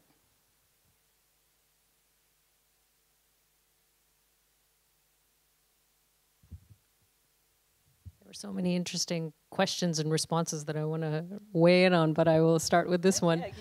Um, yeah, I forgot to mention that uh, as part of this whole fast track campaign, IATP, along with four other organizations, also did a fast track letter just specifically uh, targeting the food and farming community in the United States. And we had over 113 signatures from from groups, including, and the five groups that we did this with was including the National Family Farm Coalition and the National Farmers Union. Now, the National Farmers Union is a, is, is a, big, is a big union in the United States. Um, it's not the agribusiness union, it's, but it, it is a, a big farmers union, and that has come out saying no to fast track.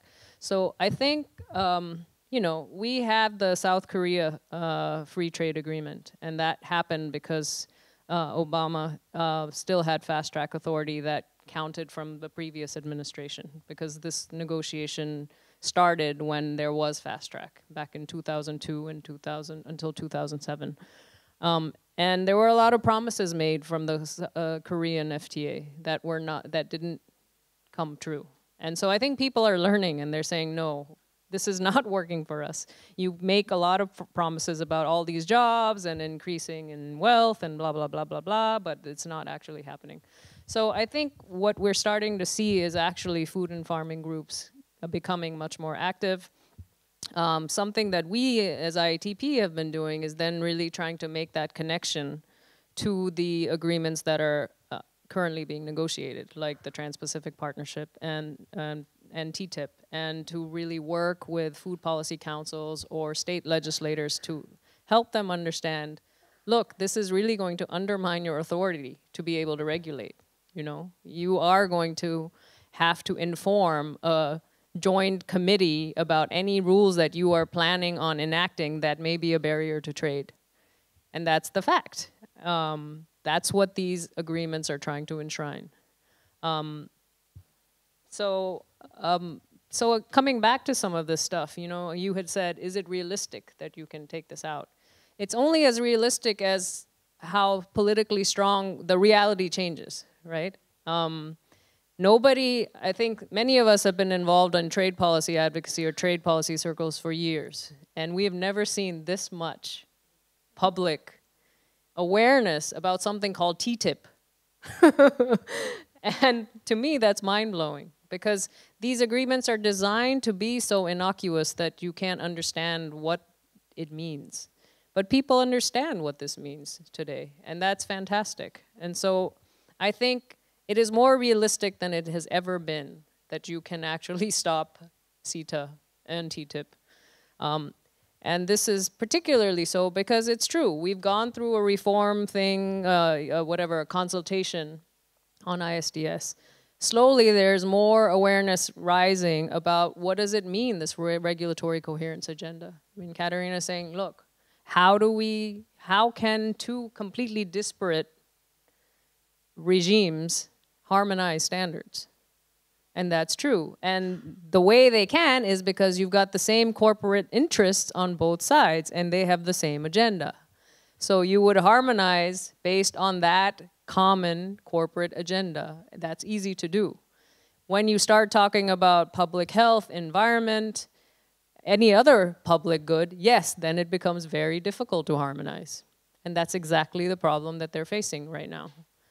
And this is exactly the issues that we need to be raising. It's not enough that we, you know, take out ISDS. If we can even get to a point where all the parties in the European Parliament or the majority can say, take out ISDS, that in itself may actually lead to the collapse of these agreements. But it's not enough to say that. It's a flawed model. Katerina is saying, can we also include other things? No, this model, this framework doesn't allow to include those things because it's a framework that is about removing barriers to trade.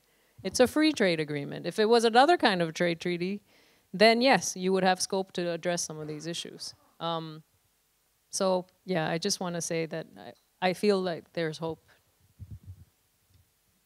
Bevor ich ähm, jetzt auch die Diskussion für mit Ihnen allen öffne, noch eine letzte Frage an oder Bitte eigentlich an dich, Katharina.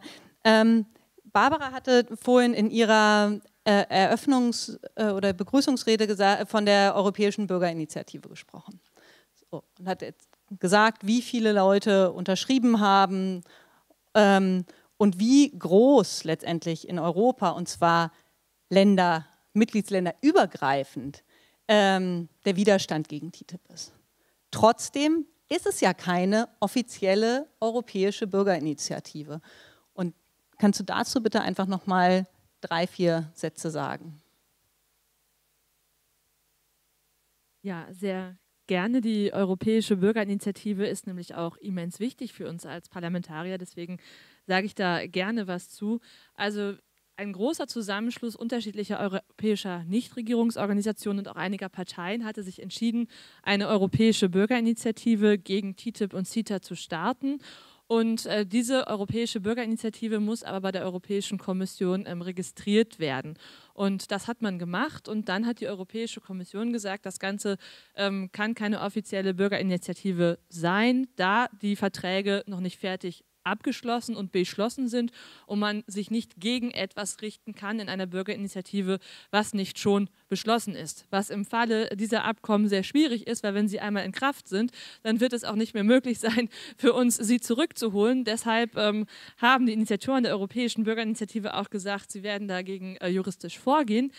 Aber gleichzeitig, und das finde ich eine sehr kluge Strategie, haben sie gesagt, wir tun einfach so, als gäbe es diese europäische Bürgerinitiative und fangen einfach an, Unterschriften zu sammeln nach den Standards, nach denen sie eben auch im Rahmen einer europäischen Bürgerinitiative hätten gesammelt werden müssen und schaffen so eine Anzahl an Unterschriften, die irgendwann nicht mehr ignoriert werden kann von den Verantwortlichen. Und mittlerweile, wir sammeln ja jetzt seit Oktober letzten Jahres, haben wir 1,7 Millionen Unterschriften schon äh, gesammelt in der ganzen Europäischen Union und haben auch in zwölf Ländern bereits das Quorum erreicht, was man hätte erreichen müssen im Rahmen einer europäischen Bürgerinitiative. Das sind immense Zahlen, das sind wirklich großartige Zahlen und wir sammeln ja noch weiter. Das heißt, ich bin sehr optimistisch, dass wir in kurzer Zeit auch die 2 Millionen Grenze an Unterschriften erreichen werden.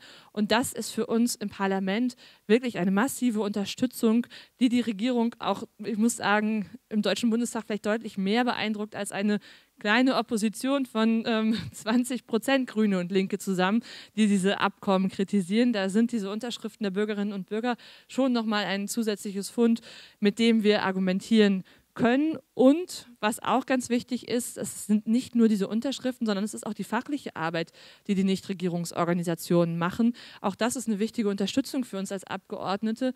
Denn um das mal so plastisch zu machen, ich habe ähm, in meinem Büro zwei wissenschaftliche Mitarbeiter, die sich mit den Abkommen beschäftigen. Dann hat die Grüne Bundestagsfraktion noch einen Referenten dazu. Das sind dann drei.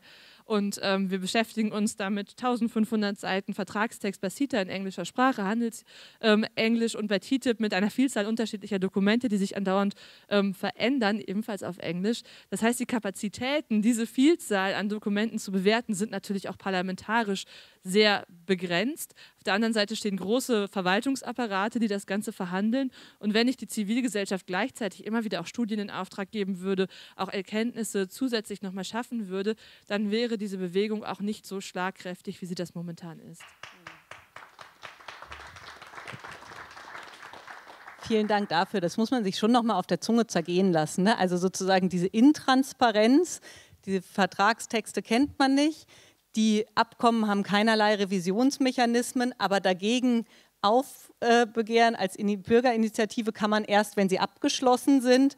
Und dann wird ja der Zivilgesellschaft auch gerne mal immer Polemik und Uninformiertheit vorgeworfen, was dann sozusagen der Gipfel der Frechheit eigentlich ist.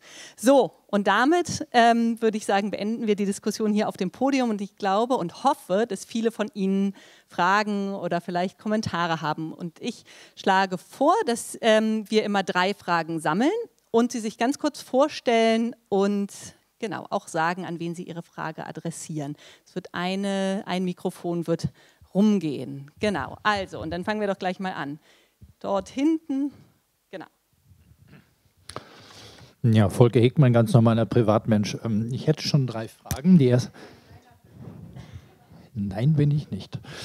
Eine ähm, vielleicht darf, darf, man das auch nicht, äh, darf man das auch sein. Katharina, ähm, Zahlen. 1000, ähm, nee, 97,5 Prozent von wem haben sich gegen CETA ausgesprochen? Ist bei mir nicht ganz angekommen. Ähm, Shelafi 1200 oder 12.000 Organisationen? Auch da war ich jetzt irritiert.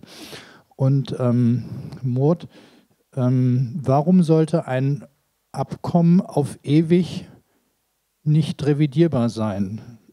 Das habe ich jetzt so vom Prinzip her nicht verstanden.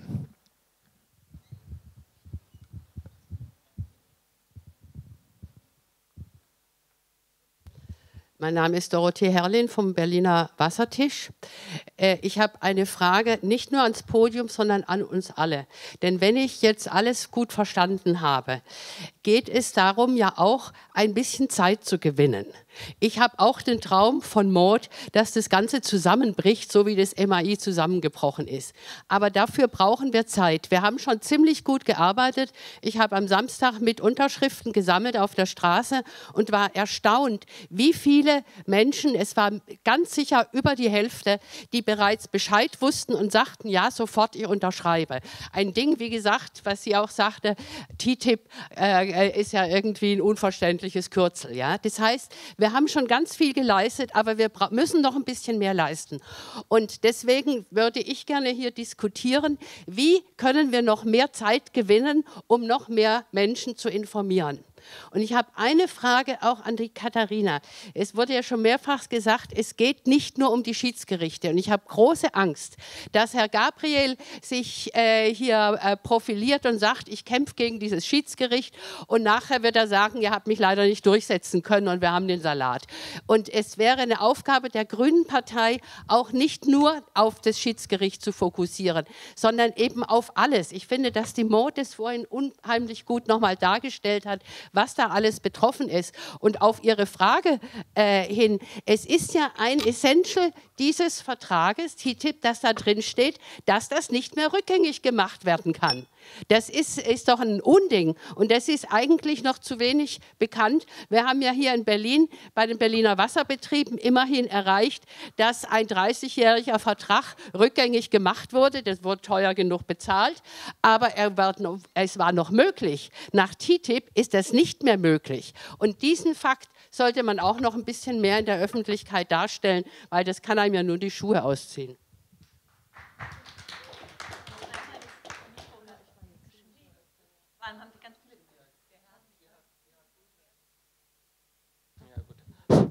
Äh, Gerhard Guldner, ich habe äh, mein Berufsleben zur Hälfte bei der Zollverwaltung verbracht ähm, und weiß, was eine Freihandelszone ist. Und zur anderen Hälfte als äh, Lehrer des Verfassungsrechts an einer Fachhochschule im Lande Brandenburg.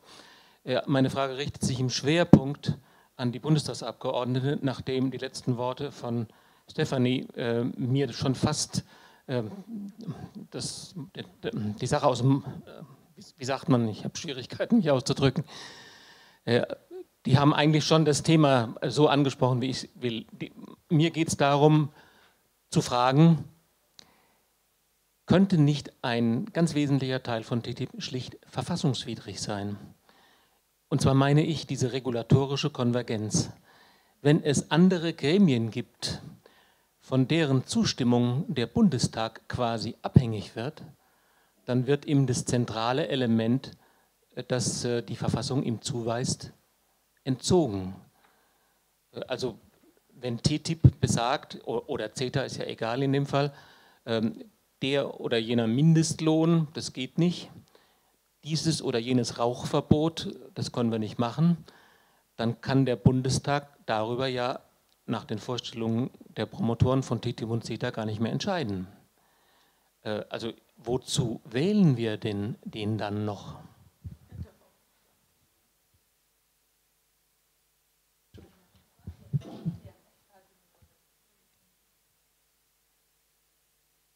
Also die erste Frage war von Volker zum EU-Konsultationsverfahren zu den Schiedsgerichten in TTIP zu der konkreten Zahl 97,5 Prozent.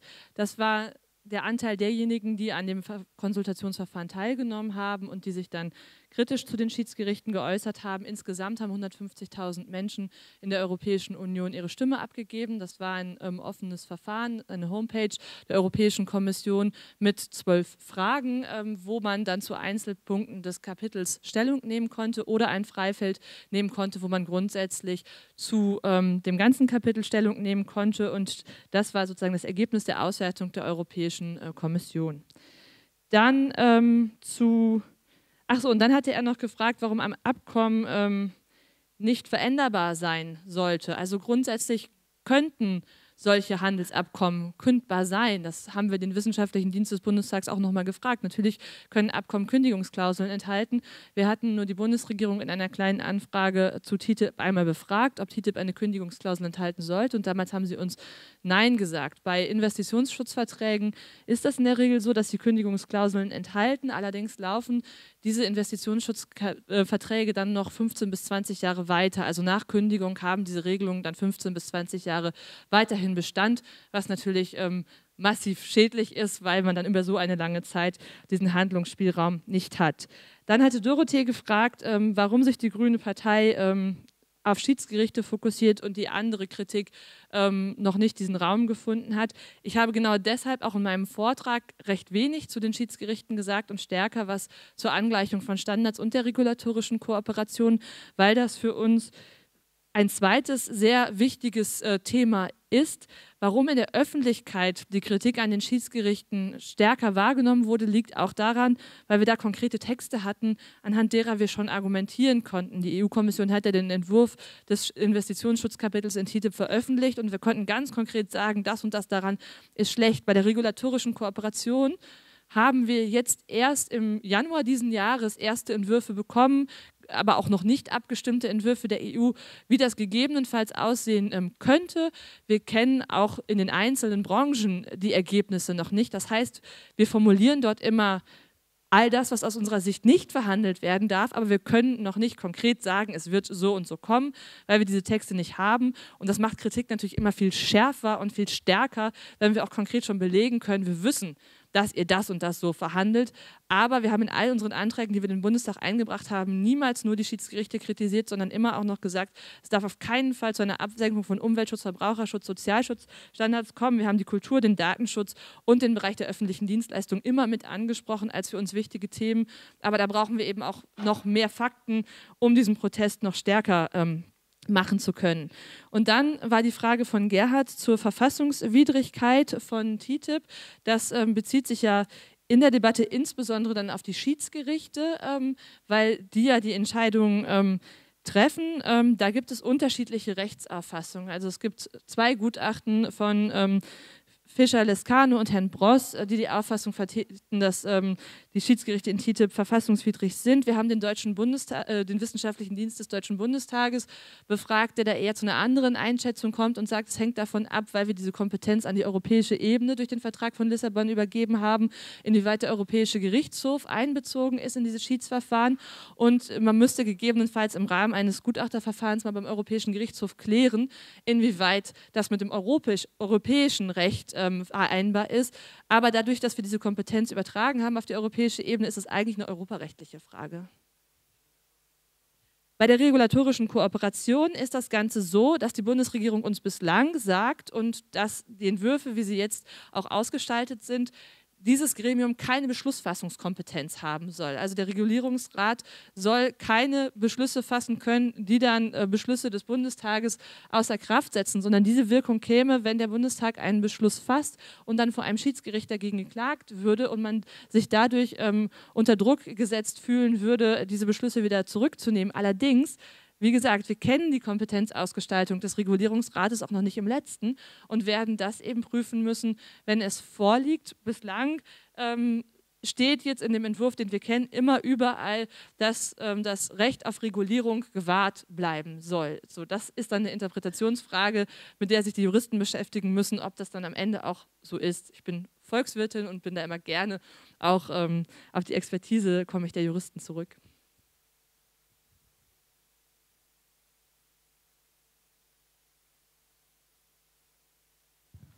Uh, yeah, it is uh, 1,200 organizations, 1,200. Yeah. Okay, dann machen wir direkt die nächste Runde. Eva, möchtest du jetzt?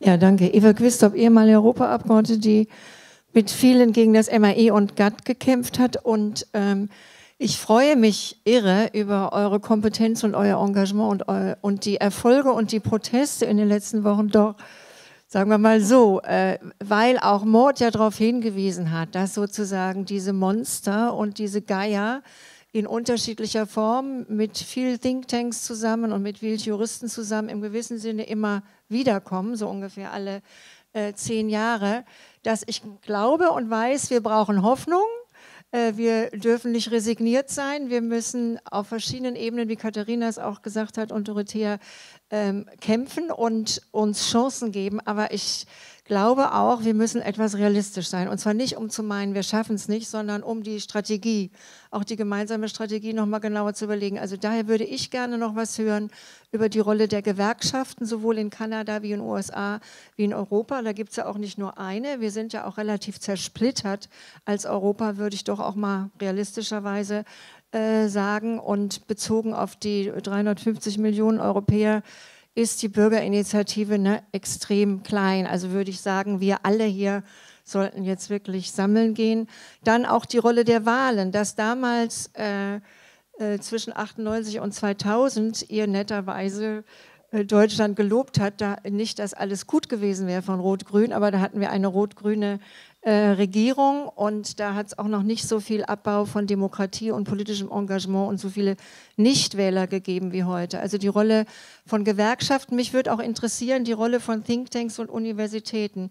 Es gibt ja jetzt auch, wenn man auf Piketty guckt, der ist ein richtiger Star geworden, oder Crouch, gibt es ja an Universitäten und so medial so allgemeine Debatten über den Niedergang des Kapitalismus und der Demokratie. Merkwürdigerweise wird es aber selten mit diesen konkreten Kampagnen verbunden, dass man wenigstens an der Stelle jetzt auch die Rolle von Wissenschaftlern, Thinktanks und Universitäten mal äh, stärker einbezieht und die Rolle der globalen Medien. Wir können erleben, wie jetzt das Flüchtlingsthema plötzlich wieder da ist. Dann ist eine Weile ein Flugzeugabsturz zwei Wochen lang in den Medien. Aber müssen wir nicht auch da noch besser werden in der Kooperation, zumindest auch zu informieren, welche Ablenkungsmanöver, welche Diffamierungsmethoden äh, es in den Medien gibt. Mir war sehr wichtig, dass Mord gesagt hat, Kanada ist nicht mehr so progressiv. Und außerdem, das fand ich sehr gut bei dir, Katharina, dass ja eigentlich verhindert wird, auch durch das, was nicht drin steht, dass bessere Standards, die wir seit zehn Jahren oder seit 15 Jahren bezogen auf globale äh, Finanzmärkte äh, fordern, nicht drin sind. Also wie können wir bei dem Thema ach, es geht um Harmonisierung und das brauchen wir doch gegenüber dem großen China. Oder wir wollen doch nur Standards setzen. Das ist immer der simple Satz von Frau Merkel, die macht ja durch ihre Simplifizierung, wirkt die ja ideologisch, diese Frau. Ja? You couldn't get her yesterday. Aber dass wir sagen, nein, es werden Standards der Demokratie unterlaufen. Ich glaube, diese Enddemokratisierung, die mit CETA und TTIP verbunden ist und dann was mit dem Pazifischen, sollten wir auch mehr wissen, dass wir die auf kommunaler Ebene und auf anderen Ebenen noch mehr angehen. Super. Direkt einmal das Mikrofon hinter dich geben, bitte. Ja. Und danach. Hallo, hier ist Jörg Haas von Campact. Äh, ich habe eine Frage an Katharina Dröge. Ähm, vor kurzem hat die baden-württembergische Landesregierung einen Beschluss zu TTIP gefasst. Ähm, der hat äh, sich lange über die tollen Chancen von TTIP ausgelassen und dann noch eine Reihe von Kriterien ähm, aufgezählt, was man irgendwie alles auch noch in TTIP haben will. Ähm, zu CETA irgendwie gar kein Wort. Ähm, mich würde einfach interessieren, äh, was du von diesem Beschluss hältst und äh, ja, inwieweit man sich eigentlich auf Baden-Württemberg verlassen kann, wenn es im Bundesrat um die Ratifizierung von CETA gehen wird.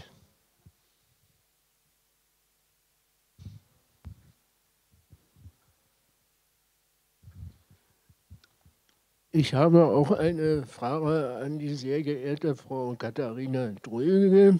Mir äh, geht es darum, äh, dass bei, kann man nicht beim TTIP auf jeden Fall ein gutes Verbraucherschutzabkommen abschließen. Äh, es geht doch zum Beispiel, es ist doch ein Unding, dass von den USA äh, äh, bespritzte Hühner, also Hühnerfleisch importiert wird nach Europa. Das ist doch ein Unding man soll doch darauf achten, dass die Nahrungsmittel ähm, nicht chemisch behandelt werden, die wir aus den USA bekommen. Und dann muss auch dafür gesorgt werden, äh, dass äh, die, die US-Pharmaunternehmen äh, haben es mal versucht, Medikamente hier nach Europa einzuschleusen. Äh, die haben noch nicht mal einen Schutz, äh, hier solche Medikamente hier äh, zu importieren.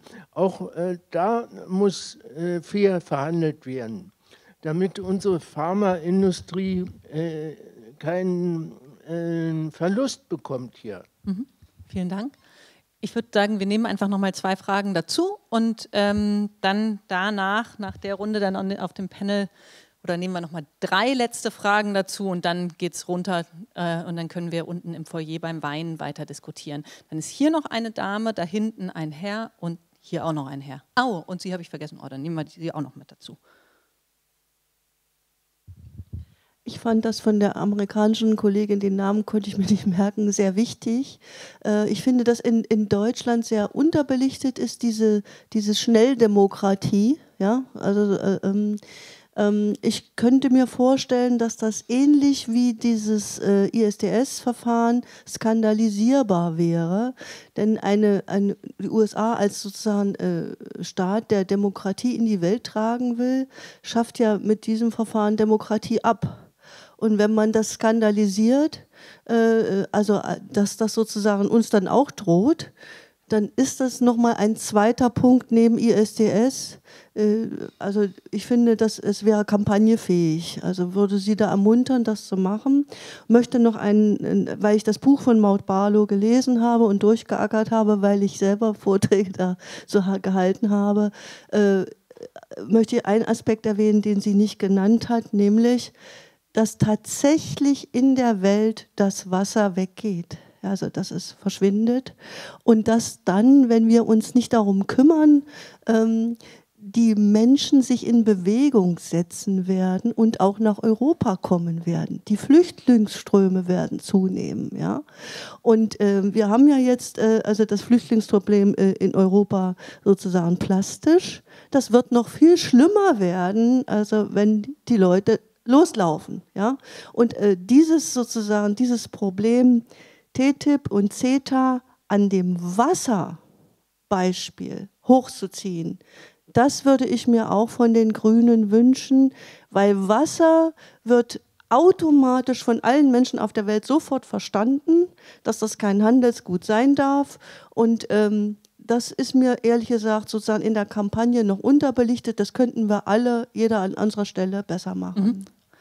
So, jetzt noch drei letzte, etwas kürzere Wortmeldungen. Genau. Ja, hallo, mein Name ist ähm, Rico Bergemann, ich bin Stipendiat der Heinrich-Böll-Stiftung und meine Frage geht auch an ähm, Katharina. Du hattest dich in Bezug auf die Frage zur Verfassungsrechtlichkeit vorhin vorrangig auf TTIP bezogen. Ähm, zu CETA legen ja deutlich mehr Informationen vor. Ähm, es wurde auch mehrmals gesagt, dass die beiden äh, von den grundsätzlichen Aufbau sehr ähnlich sind.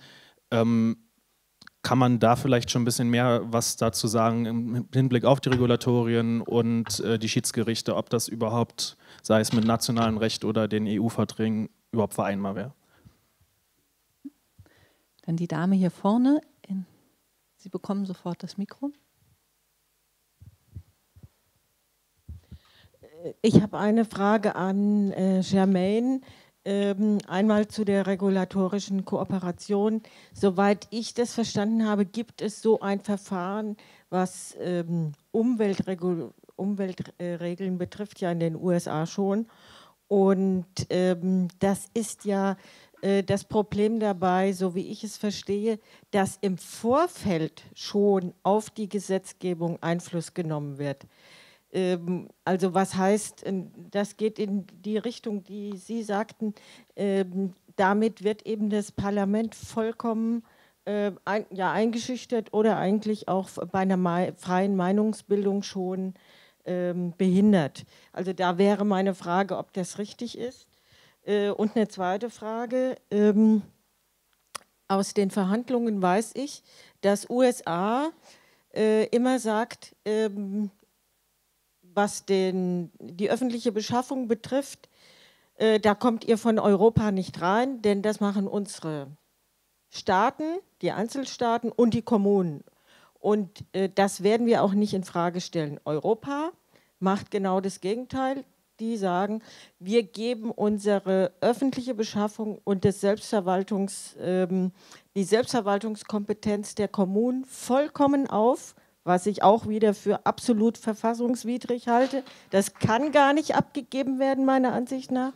Ja, ähm, also da ist meine Frage, ob das stimmt, dass in die USA also da quasi so ein Schutzschild gegenüber ähm, den, ähm, dem Freihandelsabkommen eigentlich hat. Mhm. Und eine letzte Ehrlich Sache. gesagt, ich glaube, jetzt nee, eine letzte Sache aber vielleicht noch, ganz, ganz weil also weil Mord äh, uns ja so viel Mut gemacht hat. Äh, deshalb meine ich, dass etwas nie, nie, nie veränderbar ist, das gibt es gar nicht. Wenn das Volk das nicht will, dann geht immer alles zu verändern, auch Freihandelsabkommen. Ich will damit jetzt nicht das runterspielen.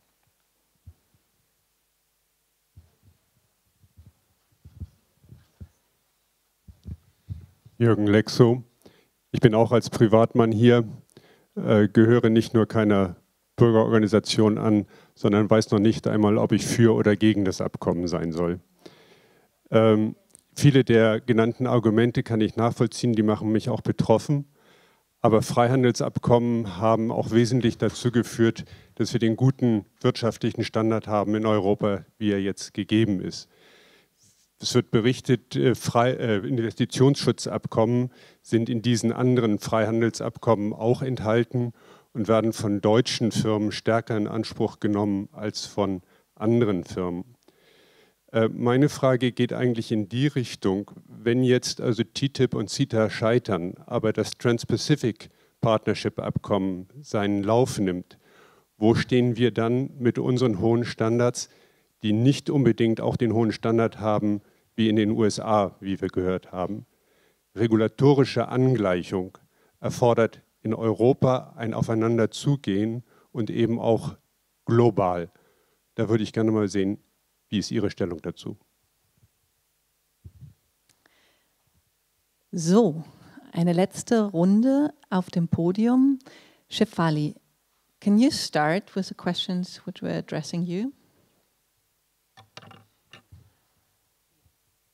So the first question was about fast track and uh, whether that's something that is campaignable here in Europe. And fast track is actually a legislative process in the U.S.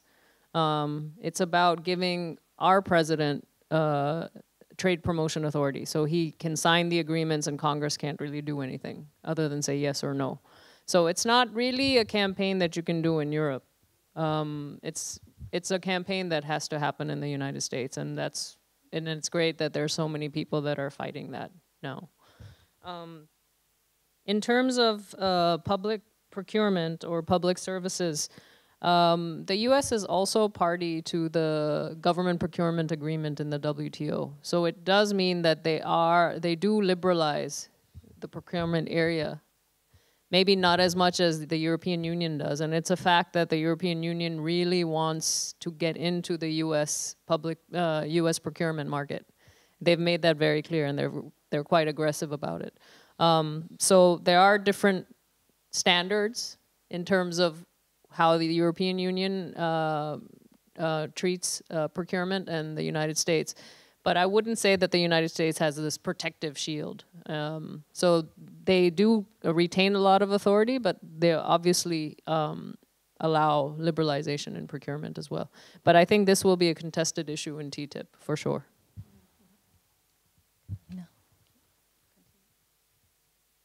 Ja, ich hoffe, ich vergesse jetzt keine der Fragen. Ähm, die erste Frage war ja von ähm, Eva nach der Rolle der äh, Gewerkschaften und ähm, die ist hier in Deutschland, da kann ich ja ähm, zu antworten, sehr ambivalent. Auf der einen Seite Verdi als Dienstleistungsgewerkschaft hat sich sehr kritisch ähm, positioniert, insbesondere zur Rolle der öffentlichen Dienstleistungen in den TTIP-Verhandlungen.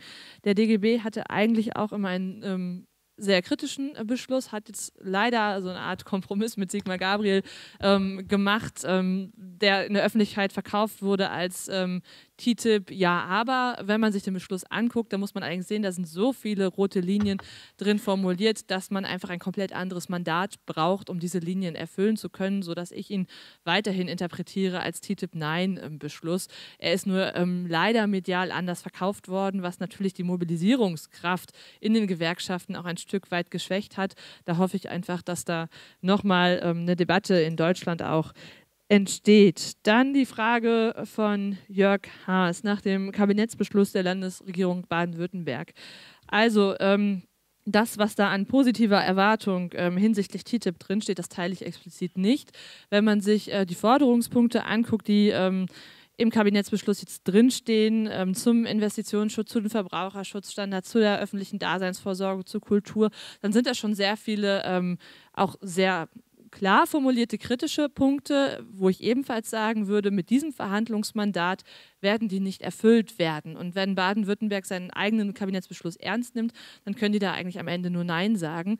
Und ähm, jetzt hoffe ich einfach, dass sie das, was sie beschlossen haben, auch ernst nehmen und äh, kann da nur an sie ähm, appellieren.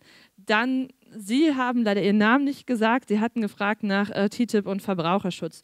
Das ähm, ist ein sehr wichtiger Punkt, den wir Grünen auch in den Verhandlungen immer ähm, kritisiert haben, dass es im Bereich Lebensmittel, im Bereich Kosmetika eben um diese Anerkennung von gegenseitigen Standards geht. Und man muss sich einfach anschauen, dass die USA und die EU sehr unterschiedliche ähm, Regulierungsphilosophien haben. Wir haben in der Europäischen Union das Vorsorgeprinzip, also erlauben Produkte auch dann nicht, wenn wir noch nicht hundertprozentig wissenschaftlich nachgewiesen haben, dass sie schädlich sind, aber aus Vorsorgegründen erlauben wir sie nicht. Und dieses Prinzip wird auch im Rahmen des internationalen Handels, auch bei der Welthandelsorganisation schon ähm, angegriffen und ist äh, beispielsweise im Fall äh, USA gegen die EU Hormonrindfleisch auch schon ähm, ja, sind wir verurteilt worden, Strafzahlungen zu zahlen an die USA. Und das ist für uns ein ganz wichtiges Prinzip als Grüne, dieses Vorsorgeprinzip auch zu schützen. schützen und wir werten die TTIP-Verhandlungen momentan als Angriff auf dieses Vorsorgeprinzip.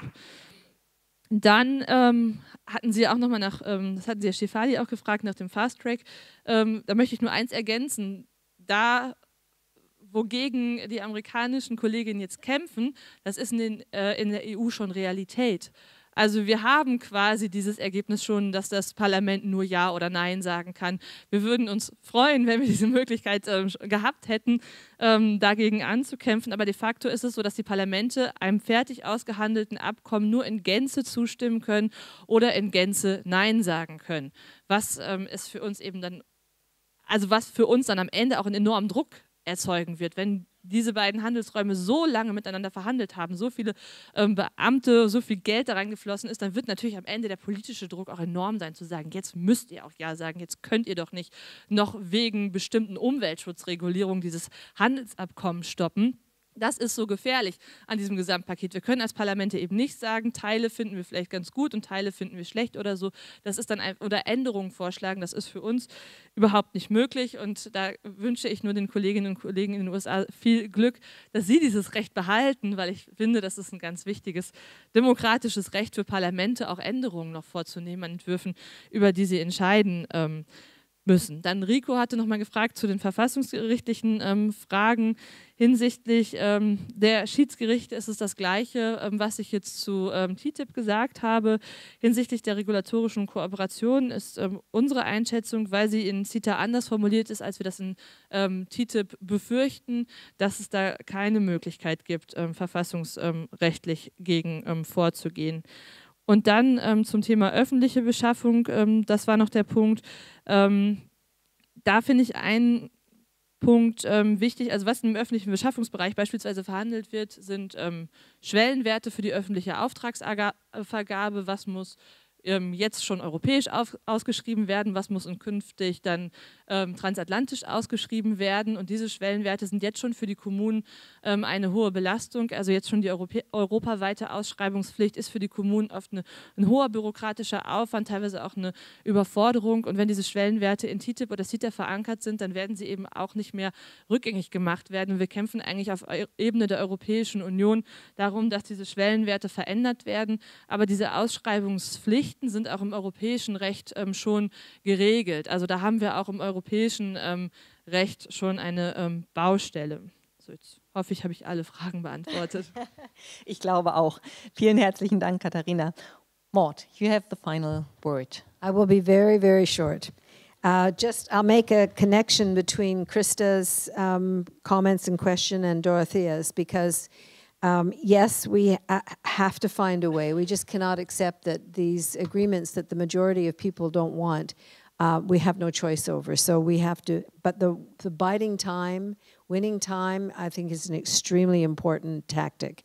Um, our government has announced three times the final signing of CETA. The last time they did it, all the journalists were making fun of them, and there were cartoons you know it's like it, it gets embarrassing after a while. So it's very important for us to just try to to string this out as long as we possibly can and that's part of, of the tactic. And i just wanted to make a comment or just to add to your thoughts about the trade unions. Um, they they are mixed in my country in terms of uh, and in the united states as well. Our public sector union has been wonderful. Um, and i was recently invited to speak to a public services international gathering in uh, Washington on on trade, and it was the first time in a long time Public Services International really looked at trade because what you find is that the individual trade unions get involved in particular fights and then life moves on. And i find this for the development community as well. You know it's like free trade's part of life and there's nothing you can do about it. So let's just live with it. And we really have to go back and challenge that. And just tell you one last funny story early on in the CETA days, I was we put on a big event on CETA, and we invited the head of one of the big unions, the public sector unions, and he came in, and he there was a lot of people, a lot of media and stuff, and he obviously had somebody do his notes for him, and he hadn't thought ten minutes about what this CETA thing was. So I was on first, and I gave the big general profile, and he was sitting there going with his mouth, with his jaw down to his chest, you know, like listening to it for the first time and what it meant to workers and all all of the things he cared about. And I sat down, and he turned to me and he said, "Maud, this is terrible." He, we have to do something. I said, yes, and you're about to get up and speak on it. That's what we're doing here. Like, so yeah, I couldn't agree with you more uh, with the importance of, of, of, of pushing back on not just the, the um, trade union movement, but the development community, because I really find that they, in with certain exceptions, they've just bought into the notion that it's inevitable. I call it a train. It's like the train, this is the train, and everybody's on the train, and some people would like to change it a bit, but they got on the train, and we don't have to be on this train, right?